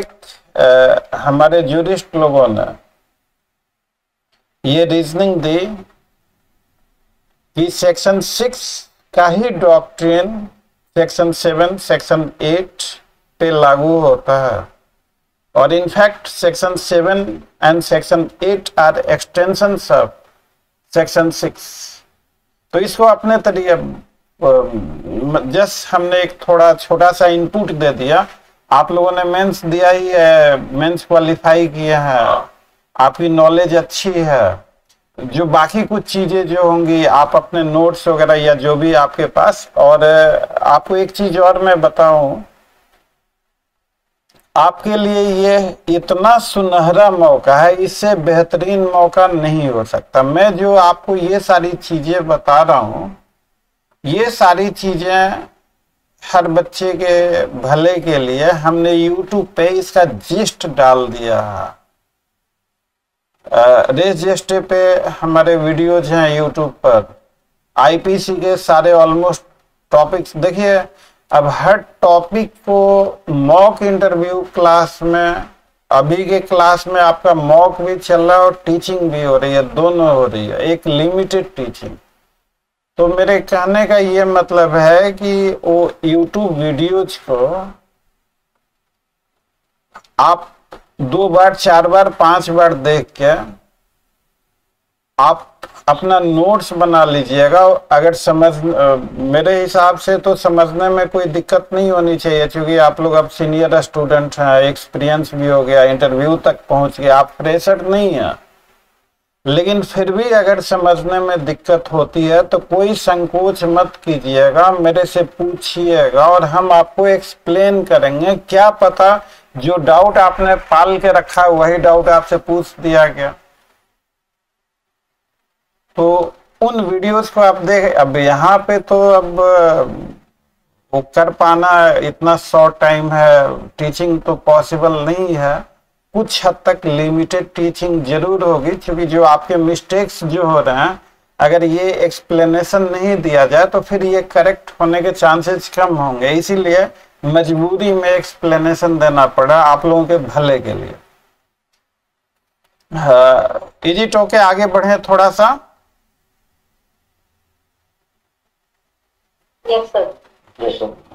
आप बीच बीच में अगर आपका कोई डाउट हो ना तो पीछे मत रहिएगा आप पूछ लीजिएगा अगर मान लीजिएगा कि आपका डाउट है और आप नहीं पूछता तो ये ठीक बात नहीं है अगर डाउट है तो जरूर पूछिए I love to address your doubt ये मत सोचिए आगे सर से पूछेंगे तो I always love I always prefer to address the doubt of student अगर स्टूडेंट के डाउट को हम एड्रेस नहीं कर सकते अगर किसी कारण से तो टाइम ले सकते हैं कि भैया आज नहीं कल बता देंगे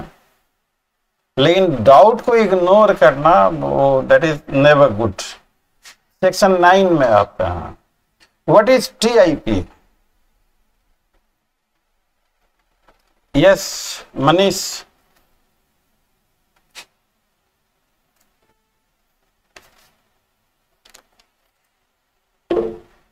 identification plate. TIP is a test identification plate where a group of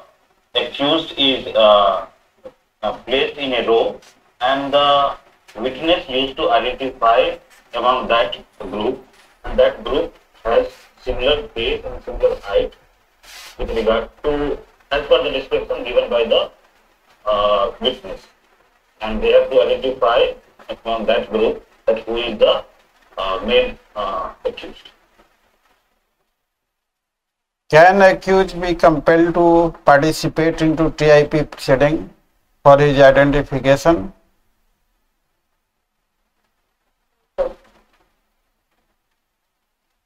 No, sir, accused. Accused are not bound to uh, participate himself for TIP. Why? because uh, because nobody can compel to be a uh, compelled to give evidence of its own. It is also uh, uh, said in the Constitution of India, Article 20, that one can be compelled to give evidence. Clause. Evidence of its 20 clause uh, 1. Hmm. गलत two three three three Uh, you rightly said about TIP. What is police TIP and what is judicial TIP?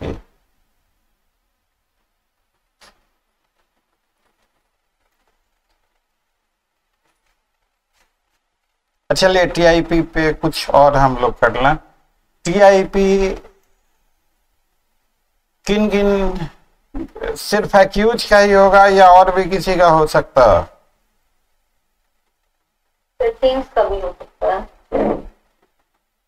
आप लोग बताइए things का भी होगा TIP या नहीं होगा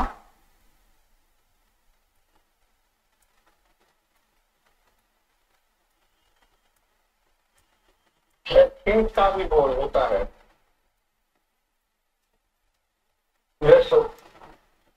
आंसर इज वेरी करेक्ट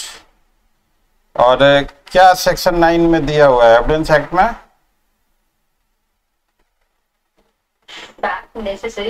में तो उसमें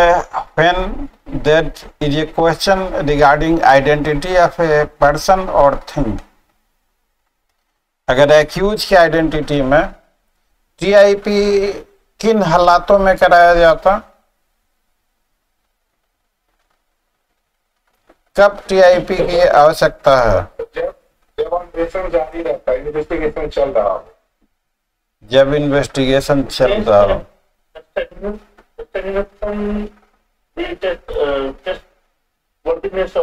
ट्रायल स्टार्ट होने से पूर्व की प्रक्रिया जब इन्वेस्टिगेशन चल रहा हो आप में से कोई भी बच्चे लोग इसका आंसर दीजिए माई क्वेश्चन इज मैं एक बार फिर से क्वेश्चन रिपीट कर रहा हूँ कब टीआईपी कराया जाता है कब टीआईपी की आवश्यकता होती है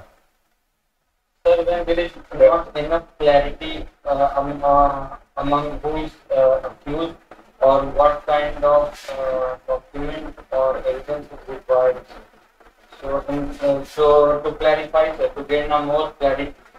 वीआईपी रिकॉर्ड सर ये फर्स्ट इंस्टेंस में ही कराया कराया sir when uh, accused when the witness uh, don't know about uh, the accused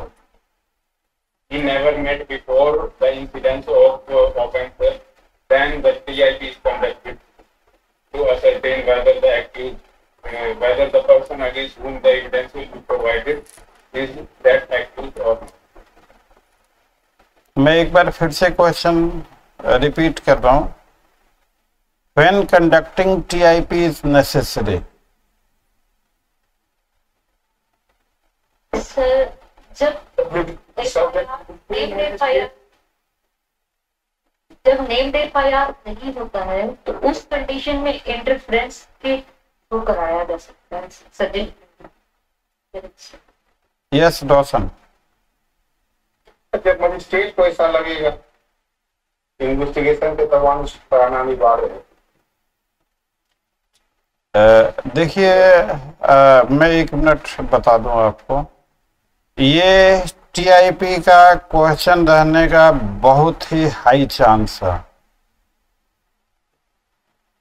ये मेरा तुक्का है अब मुझे नहीं पता कि मेरा तुक्का लगेगा कि नहीं लगेगा जस्ट एक टीचर का गेस वर्क होता है कभी गेस काम भी करता है कभी नहीं भी काम करता तो मेरे हिसाब से ये टीआईपी वाला क्वेश्चन खूब पूछा जाएगा अब टीआईपी के बारे में जान लीजिए सेक्शन नाइन में जब भी when there is need and necessity to establish identity of a thing और पर्सन वीडियो आपको पोस्ट किया जाएगा क्लास के बाद तो वीडियो सुनते हुए जो चीजें हैं काम की उनको नोट कर लीजिए कॉपी में तो once again I repeat when there is a need और when there is necessity to establish identity of a thing और person T I P becomes necessary अब मान लीजिए कोई महिला मार्केट जा रही है कोई नामालूम व्यक्ति उसका चैन छीन के भाग गया तो वो जो महिला विक्टिम है she best knows that who was the accused who committed तो अगर पुलिस किसी को पकड़ती है किसी तरह से तो पुलिस ने जिस व्यक्ति को पकड़ा क्या ये वही व्यक्ति है जिसने ये महिला का चैन छीन के भागा या कोई और क्योंकि पुलिस को तो नहीं पता कि महिला का चैन कौन छीन के भागा तो and therefore in such cases और सारा ने सही कहा कि नेम्ड एफआईआर में टीआईपी की जरूरत क्या कहा था Sara named F I R में टी आई पी की जरूरत होती है नहीं होती है जहाँ पे नेम्ड एफ होता है वहाँ पे जरूरत नहीं होती है जहाँ पे नेम्ड एफ नहीं है तो शक की बुनियाद पे हम टी आई पी करवाते मतलब शक के बुनियाद पर शक के बुनियाद पे टी आई पी करवाते हैं या आइडेंटिटी को कंफर्म करने के लिए करवाते हैं आइडेंटिटी को कंफर्म करवाने के लिए हम्म। तो बिल्कुल देखिए अगर एफआईआर में एक्यूज का नाम ही लिखा हुआ है तो एक्यूज की आइडेंटिटी तो ऑलरेडी स्टेब्लिश है तो फिर टीआईपी करवाने का कोई मकसद नहीं रह गया मान लीजिए कोई डेड बॉडी मिलती है उसका चेहरा छत बिछत कर दिया गया है उसकी पहचान उसके कपड़ों से की गई उसकी पहचान उसके जूते से की गई राजीव गांधी का जब एसासिनेशन हुआ था तो राजीव गांधी की लाश छत बिछत हो गई थी जो केस चला था राजीव गांधी की कैसे पहचान हुई थी एनी ऑफ यू जी इंटरव्यू के लिए रेलिवेंट नहीं है लेकिन जस्ट क्लास चल रहा तो उसी सन राजीव गांधी ने जो जूते पहने थे उन जूतों से उनकी पहचान की गई बॉडी बिल्कुल खत्म हो गई थी तो कहीं कोई डेड बॉडी मिलता है तो ये डेड बॉडी किसकी है मृतक का नाम क्या है इस बातों इन बातों को कौन कंफर्म करेगा जो मृतक को जानता हो मृतक के घर वाले या कोई भी आदमी जो मृतक को पर्सनली जानता हो तो अब जैसे मान लीजिए वो महिला बाजार जा रही है और कोई आदमी आया उसका चैन छीन के भाग गया तो इन हालातों में एक्यूज का टीआईपी जरूरी हो जाता है और पुलिस ने जो चैन बरामद की है क्या ये वही चेन है जो उस महिला ने पहनी थी और वारदात में वारदात में इसे छीना गया क्या ये भी स्टेब्लिश करना जरूरी होगा या नहीं होगा बताइए आप लोग तो होगा बाकी बच्चे लोग भी बताइए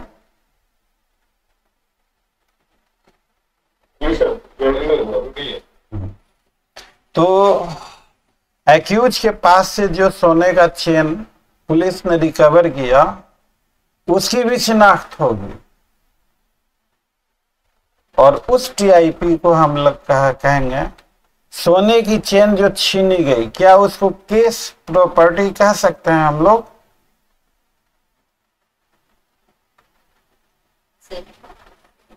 तो जो क्या चीज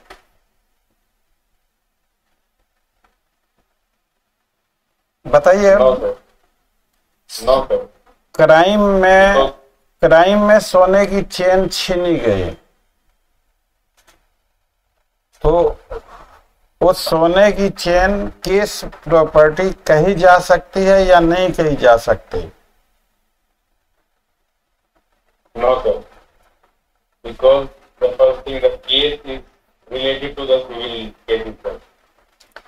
चैन छीनना किसी किसी लेडी का चैन छीनना सिविल केस होगा नहीं सर सर ये civil sir criminal case the case जो हम केस मेंशन करते हैं सर तो वो सिविल केस तो सिविल केस में मेंशन करते हैं ये क्रिमिनल तो प्रोसीडिंग तो होती है क्यों क्रिमिनल केस नहीं कह सकते क्रिमिनल प्रोसीडिंग ही कहना जरूरी है सॉरी सर मैं I was confused between suit and proceeding चले उस इन्हीं कंफ्यूजन को ही दूर करना है हम लोगों को मॉक सेशन में और केस किसी को भी रेप केस सुना है मर्डर केस सुना है आपने या मर्डर प्रोसीडिंग्स होता है केस, केस। तो केस कुछ भी हो सकता है सिविल केस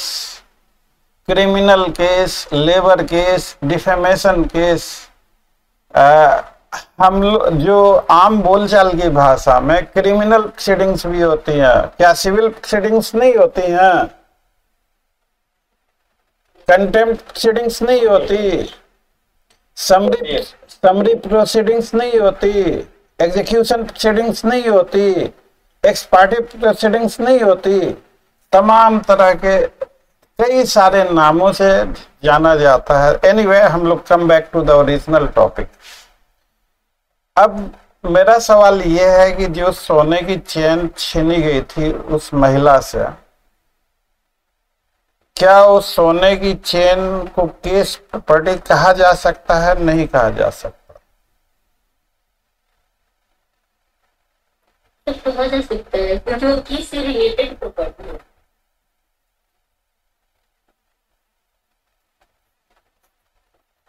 है ये भी आपसे इंटरव्यू में पूछा जा सकता है कि what is the meaning of case property क्या ऐसा क्वेश्चन पूछने के चांसेस बनते हैं नहीं बनता है?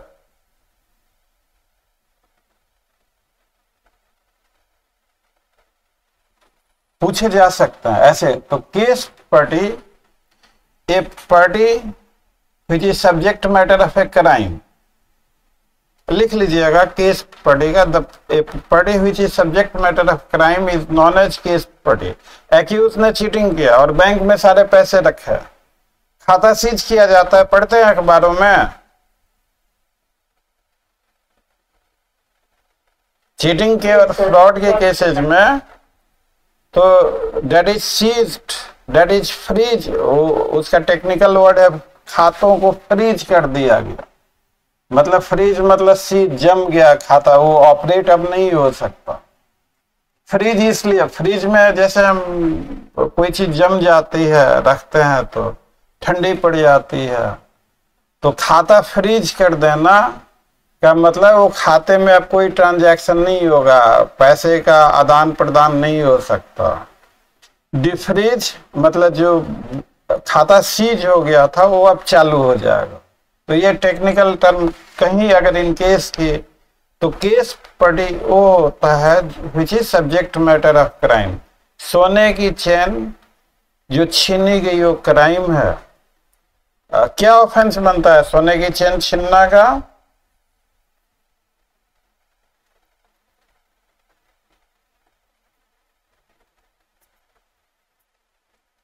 What is the offense of a snatching? Robbery तो किसी को पुटिंग इनटू एक्सटॉर्शन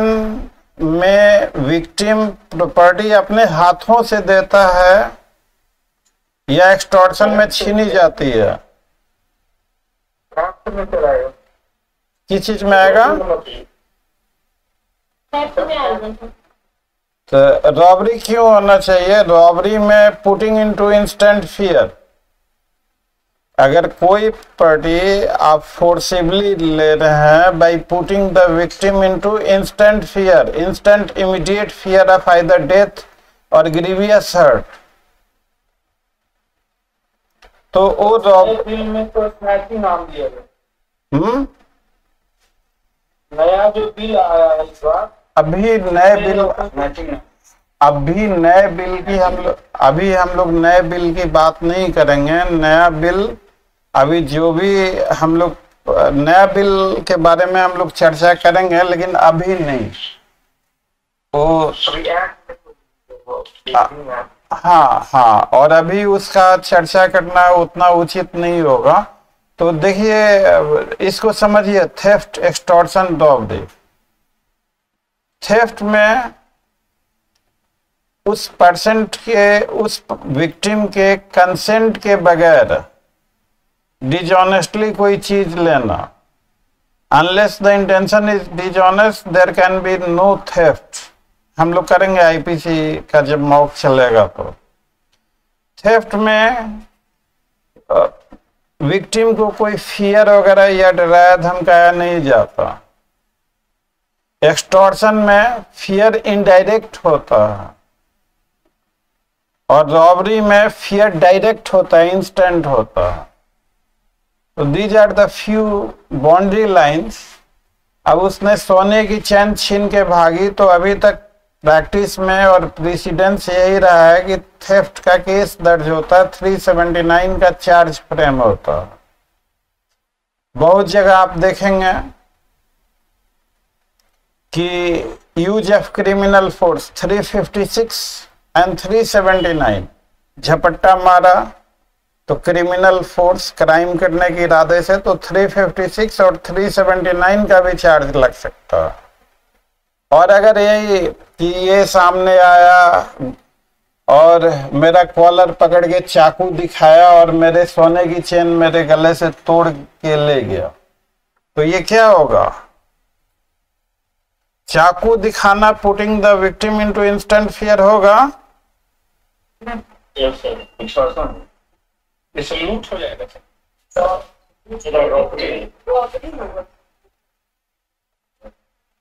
ये this is the case of robbery क्योंकि चाकू दिखाना putting the victim into instant fear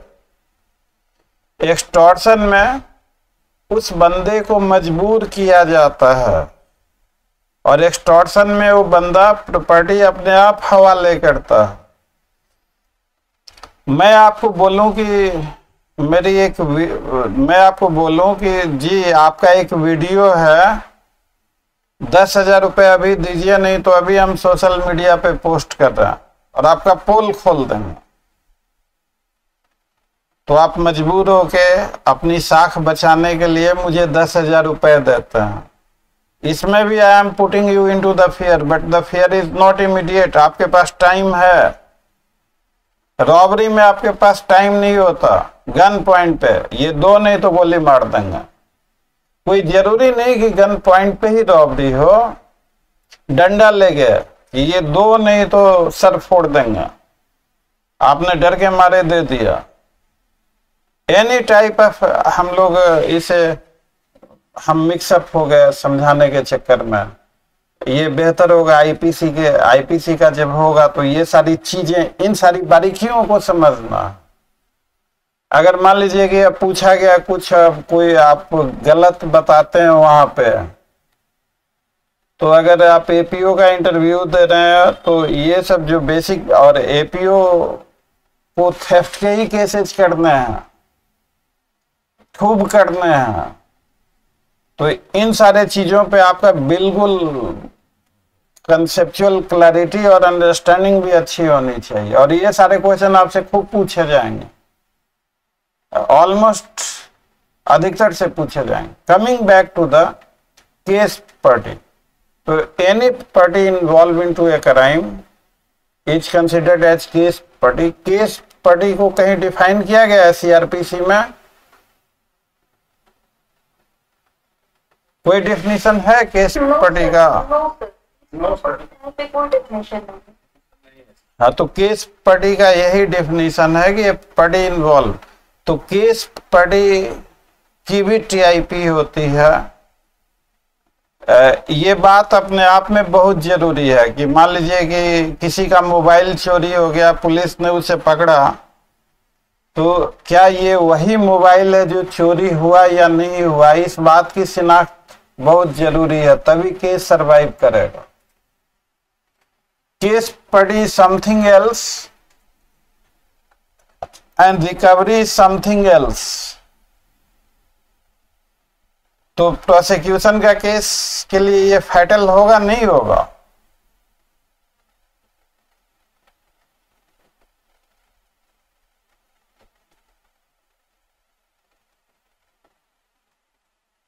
मान लीजिए कि उस महिला का चेन चोरी हुआ जब वो केस पटी के बारे में कहा गया तो उस महिला ने कहा कि ये चेन मेरी नहीं है मेरी दूसरी चेन मोटी वाली थी तो एक्यूज को तो इसीलिए गिरफ्तार किया गया ना कि उसके पास से उस महिला की छीनी हुई चेन बरामद हुई he was found in possession of stolen protect तो अगर महिला कह देती है कि ये मेरी चेन नहीं है तो can we say that accused was found in possession of stolen property no sir हम लोग वो भी पढ़ेंगे स्टोलन प्रॉपर्टी का क्या डेफिनेशन है अब मान लीजिए कि आपके पास आपकी आपने हाथ में अंगूठी पहन रखी है और उसका बिल नहीं है आपके पास तो क्या वो स्टोलन पट्टी हो जाएगी वैसी पट्टी जिसका बिल ना हो तो स्टोलन हो जाएगी या वो आप ही की होगी मैंने ये टी शर्ट पहना है इसका कैश मेमो नहीं है मेरे पास तो क्या ये टी शर्ट स्टोलन पट्टी हो जाएगा no, तो व्हाट एग्जैक्टली इज स्टोलन पट्टी और आप एपीओ का इंटरव्यू दे रहे हो मस्ट नो हम करवाएंगे आज आउट ऑफ ट्रैक हो गया पता ना किधर से किधर भाग गया और यस uh, जी जी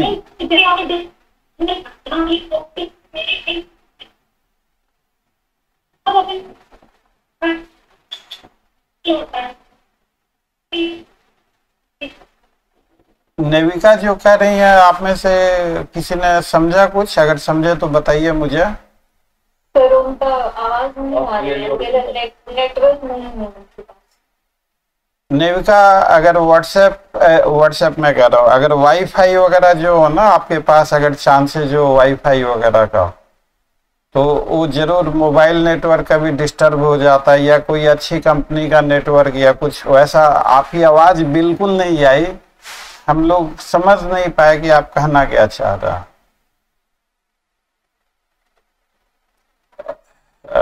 चलिए जब आपका नेटवर्क हो तो आप पूछ लीजिएगा तो कमिंग टू द जब केस पर का जो है कि जब आइडेंटिटी इस्टेब्लिश करना केस के हालातों के अनुसार अगर जरूरी है तो टीआईपी बिल्कुल मैंडेटरी है अब चलिए एक्यूज के टीआईपी की बात करते हैं तो एक्यूज की अगर आइडेंटिटी स्टेब्लिश करनी है तो टीआईपी की जरूरत है पुलिस टीआईपी कराएगी या पहले जुडिशियल टीआईपी होगा एक्यूज को पुलिस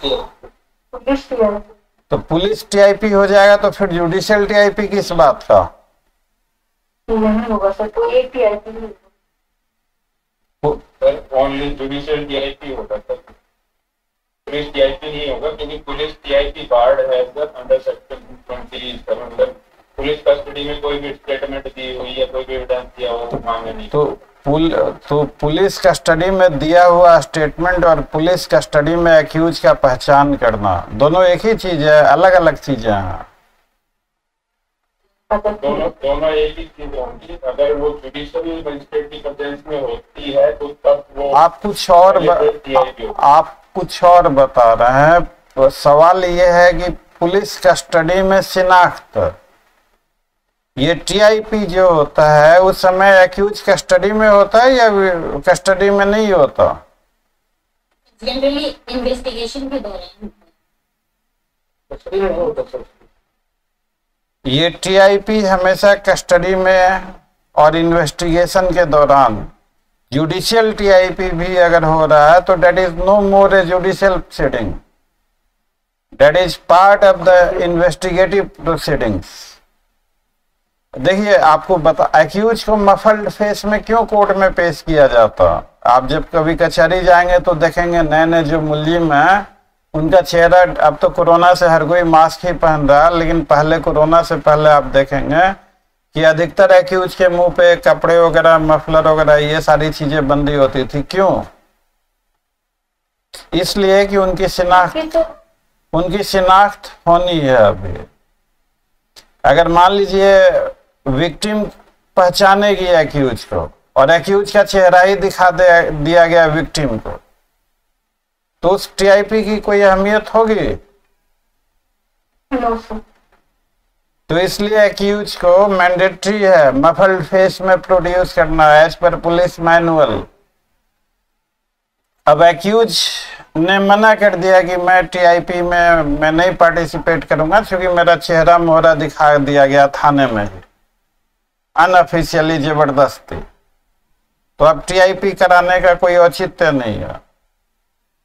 एक्यूज को टीआईपी के लिए कभी मजबूर नहीं किया जा सकता एक्यूज को मजबूर करने का मतलब टीआईपी के लिए उसका ये मतलब है कि हम article twenty clause three doctrine of self incrimination उसकी धजिया उड़ा था तो accused can not be compelled अगर एक्यूज का रिफ्यूजल है टीआईपी का तो एक्यूज का जो एक्सप्लेनेशन है कि as to why he is refusing उस एक्सप्लेनेशन पे कोर्ट विचार करेगी चलिए जुडिशियल टीआईपी में कि उसने मना कर दिया कि ठीक है भैया हम नहीं कराते अब क्या होगा अब पुलिस उस विक्टिम का बयान लिखेगी कि आज मैंने इस मुलिम को या तो कोर्ट में देखा या आपके सामने थाने में देखा और ये वही शख्स है जिसने उस दिन मेरे सोने की चैन तोड़ी थी तो तो ये हो गया पुलिस का जो विक्टिम का सप्लीमेंट्री स्टेटमेंट कंसर्निंग टीआईपी ये शिनाख्ती बयान इसको कहते हैं आइडेंटिफिकेशन स्टेटमेंट शिनाख्ती बयान हिंदी में अगली चीज जो इससे संबंधित हम लोगों को समझना है कि ये बयान पुलिस कभी भी जब उसका जुडिशियल टीआईपी का रिफ्यूजल आ जाए तो करवा सकती है एक अगला सवाल है मेरा कोई महिला थाने में आती है और कहती है कि दो बाइक सवार है काले शीशे का हेलमेट में होता है ना काला शीशा काले शीशे का हेलमेट पहन रखे थे मैं बाइक का नंबर नहीं नोट कर पाई और वो मेरे सोने की चैन तोड़ के ले गए इस तरह के एफ आई आर का अंजाम क्या होगा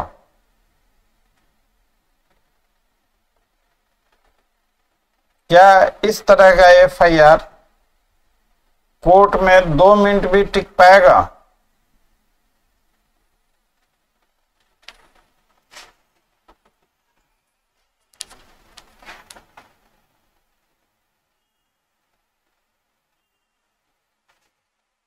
बताइए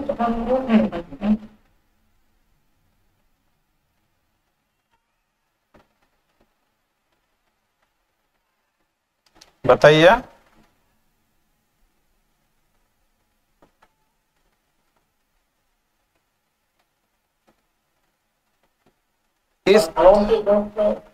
जी नहीं नहीं अननोन के अगेंस्ट एफ आई आर हो सकता है लेकिन उस वो अननोन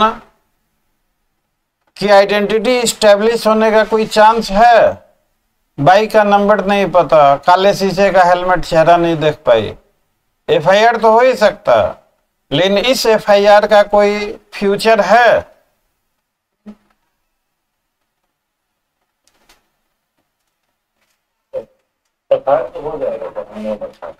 एफ आई आर तो offence offence F I R तो होना ही होना है ऑफेंस हुआ और कॉग्निजेबल ऑफेंस है F I R is must in to cognizable offence लेकिन एफ आई लेकिन एफ आई आर इन लाइनों पर बाइक का पता नहीं एक्यूज का चेहरा नहीं देख पाई काले रंग का शीशा पहना हुआ था तो नहीं तो ऐसे में आंसर आपका ये होना चाहिए कि सर चेन स्नैचिंग एक कॉग्निजेबल ऑफेंस है एक्यूज आइदर नोन और unknown FIR has to be registered इसका फ्यूचर थोड़ा कमजोर हो सकता है क्योंकि एक्यूज के आइडेंटिटी को इस्टेब्लिश करने का कोई सोर्स नहीं है इन्वेस्टिगेशन के दौरान आसपास की अगर कोई वीडियो फुटेज मिल जाता है और उससे कोई फर्दर एविडेंस मिलता है जैसे बाइक का नंबर डिस्प्ले हो जाए या उस भागते वक्त शीशा ऊपर गया उसका चेहरा दिख रहा हो तो फिर ये एफ आई आर कंप्लीट ये केस प्रोसिक्यूशन का स्ट्रांग हो सकता है तो तो यस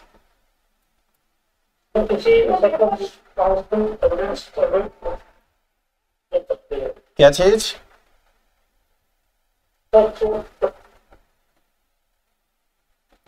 जी जी बोलिए तो हम्म। तो तो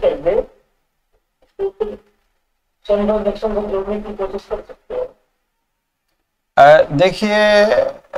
circumstantial evidence comes into play when there is no direct evidence circumstantial evidence क्योंकि circumstances explain the thing circumstantial evidence पे भी यूट्यूब पे कंप्लीट वीडियो बनाया हुआ उसे आप देखिएगा बहुत सारी चीज़ें आपकी पूरी हो जाएंगी और यहाँ इस केस में वीडियो फुटेज क्या सरकमस्टांशियल एविडेंस कंसीडर किया जा सकता है या नहीं किया जा सकता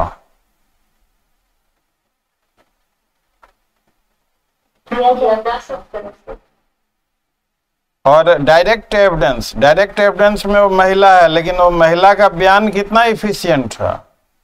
उसका बयान बहुत ही डेफिशिएंट है इफिशियंट तो बहुत दूर की बात है डेफिशिएंट है क्योंकि ना ही उसे बाइक का नंबर पता ना ही उसे एक्यूज के बारे में पता तो उस महिला से क्या मिल सकता पुलिस आगे पूछ सकती है कि बाइक का रंग क्या था मुलिम की कद काठी क्या थी पतले थे दुबले थे कपड़े कैसे पहन रखे थे उस महिला का जो भी बयान आता है अगर वीडियो फुटेज से मैच होता है तो फिर एक क्लू बन गया यस सर नो नो में खत्म हो सकता है नहीं ऐसे इस तरह का आंसर नहीं देना है वहां पे आपको आज, आज तो आपका पहला ही दूसरा सेशन है ये पूरा एक्सरसाइज कराया जाएगा अरे ग्यारह बज गया मुझे ध्यान ही नहीं रहा आज थोड़ा वो बच्चे लोग आ रहे थे और जो भी जैसे भी आप लोग वट आई सजेस्ट यू कि देखिए आप कैंडिडेट हैं आपकी क्या रिक्वायरमेंट है बेहतर आप समझते हैं तो और ये हम सबों का सपना है कि ये जो मिशन है इस बार का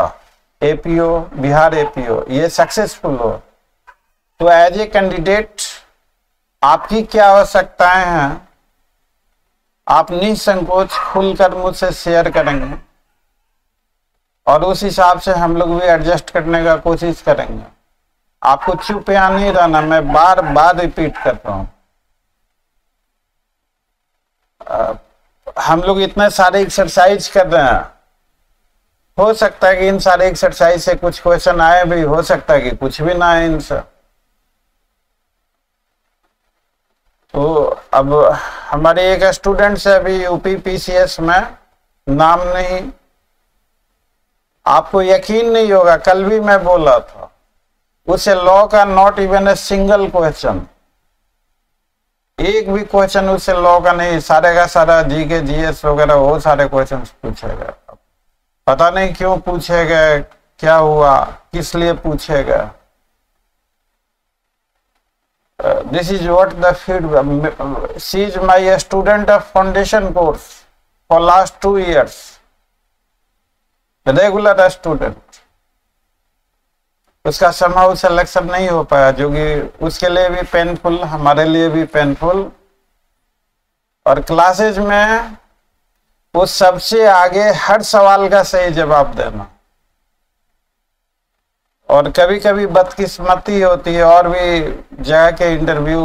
फाइनली नहीं हो पाया तो कभी कभी किस्मत भी उसका भी खामियाजा भुगतना पड़ता है जैसे आपका इंटरव्यू बोर्ड किस तरीके का है इंटरव्यू रूम के अंदर माहौल क्या है बोर्ड किस तेवर में है एटमोस अब मान लीजिए कि आपसे पहले कोई स्टूडेंट इरिटेट करके चला गया वो कहीं ऑलरेडी ऑलरेडी कहीं एपीओ पोस्टेड है वो शिफ्ट होना चाह रहा या ऐसा भी बहुत तरह के होते हैं वहां पे अब उनका मूड इरिटेटेड है वो तो इरिटेट करके चला गया अब आपका नंबर है अब देखिए अब ये तो होनी अनहोनी उस पर we have only to give our hundred percent honestly and that that we can do and that is only our limitation at the end any question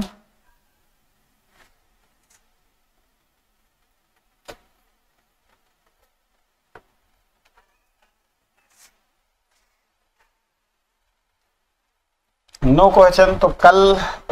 yes Rajneesh कुछ कह रहे थे आप बताइए तो तो अगर अगर तो- देखिए देखिए हिंदी मीडियम वाले स्टूडेंट स्वाभाविक है कि इंग्लिश में उतना इफिशियंट नहीं होंगे तो हिंदी मीडियम वाले हिंदी में ही बोलें और इंग्लिश मीडियम वाले स्टूडेंट हैं और उनसे सवाल हिंदी में पूछा गया है तो उनको भी हिंदी में ही बोलना चाहिए मिक्सअप जैसे मैं बोल रहा हूँ अगर सवाल इंग्लिश मीडियम के स्टूडेंट से इंग्लिश लैंग्वेज में पूछा गया है तब आप इंग्लिश लैंग्वेज में इंग्लिश मीडियम में जवाब दीजिए लेकिन इंग्लिश मीडियम वाले स्टूडेंट से अगर हिंदी मीडियम में सवाल पूछा गया है तो आप कोशिश कीजिए हिंदी मीडियम में ही बोलना अब वैसे भी देखिए मान लीजिए कोई आपसे हिंदी में बोल रहा है और आप दे दनादन अंग्रेजी लगे अच्छा लगेगा मतलब प्रैक्टिकली थोड़ा सा ऑकवर्ड सी सिचुएशन हो जाती है हिंदी मीडियम की तो चलिए मजबूरी है उन्होंने मीडियम ही हिंदी रखा तो हिंदी मीडियम वाले स्टूडेंट ये मत सोचने लगी है कि भाई हम अंग्रेजी में नहीं बोल सकते आपने मीडियम हिंदी रखा है हिंदी मीडियम आप तो मीडियम का कुछ हो भी नहीं सकता जो है उसी में आपको परफॉर्म करना तो हिंदी मीडियम वाले अगर मान लीजिए एक दो लाइन आप अंग्रेजी बोल सकते हैं आपसे अंग्रेजी में सवाल है तो एक दो लाइन आप अंग्रेजी में बोल सकते हैं और मान लीजिए कि हिंदी मीडियम से अंग्रेजी में पूछ दिया गया तो आप हिंदी में जवाब दीजिए अगर वो टोकते हैं तो आप बोलिए कि सर हमारी जो हिंदी मीडियम से इशारा रहा अंग्रेजी मेरी उतनी अच्छी नहीं थी इसलिए मैं हिंदी मीडियम में ही प्रेफर किया मतलब किसी भी चीज का जवाब आपको स्मार्टली देना है आपको कन्विंसिंगली देना है घबराना नहीं है कभी ये छोटी छोटी चीजें these things make huge huge difference for last around now thirty years for last 30 years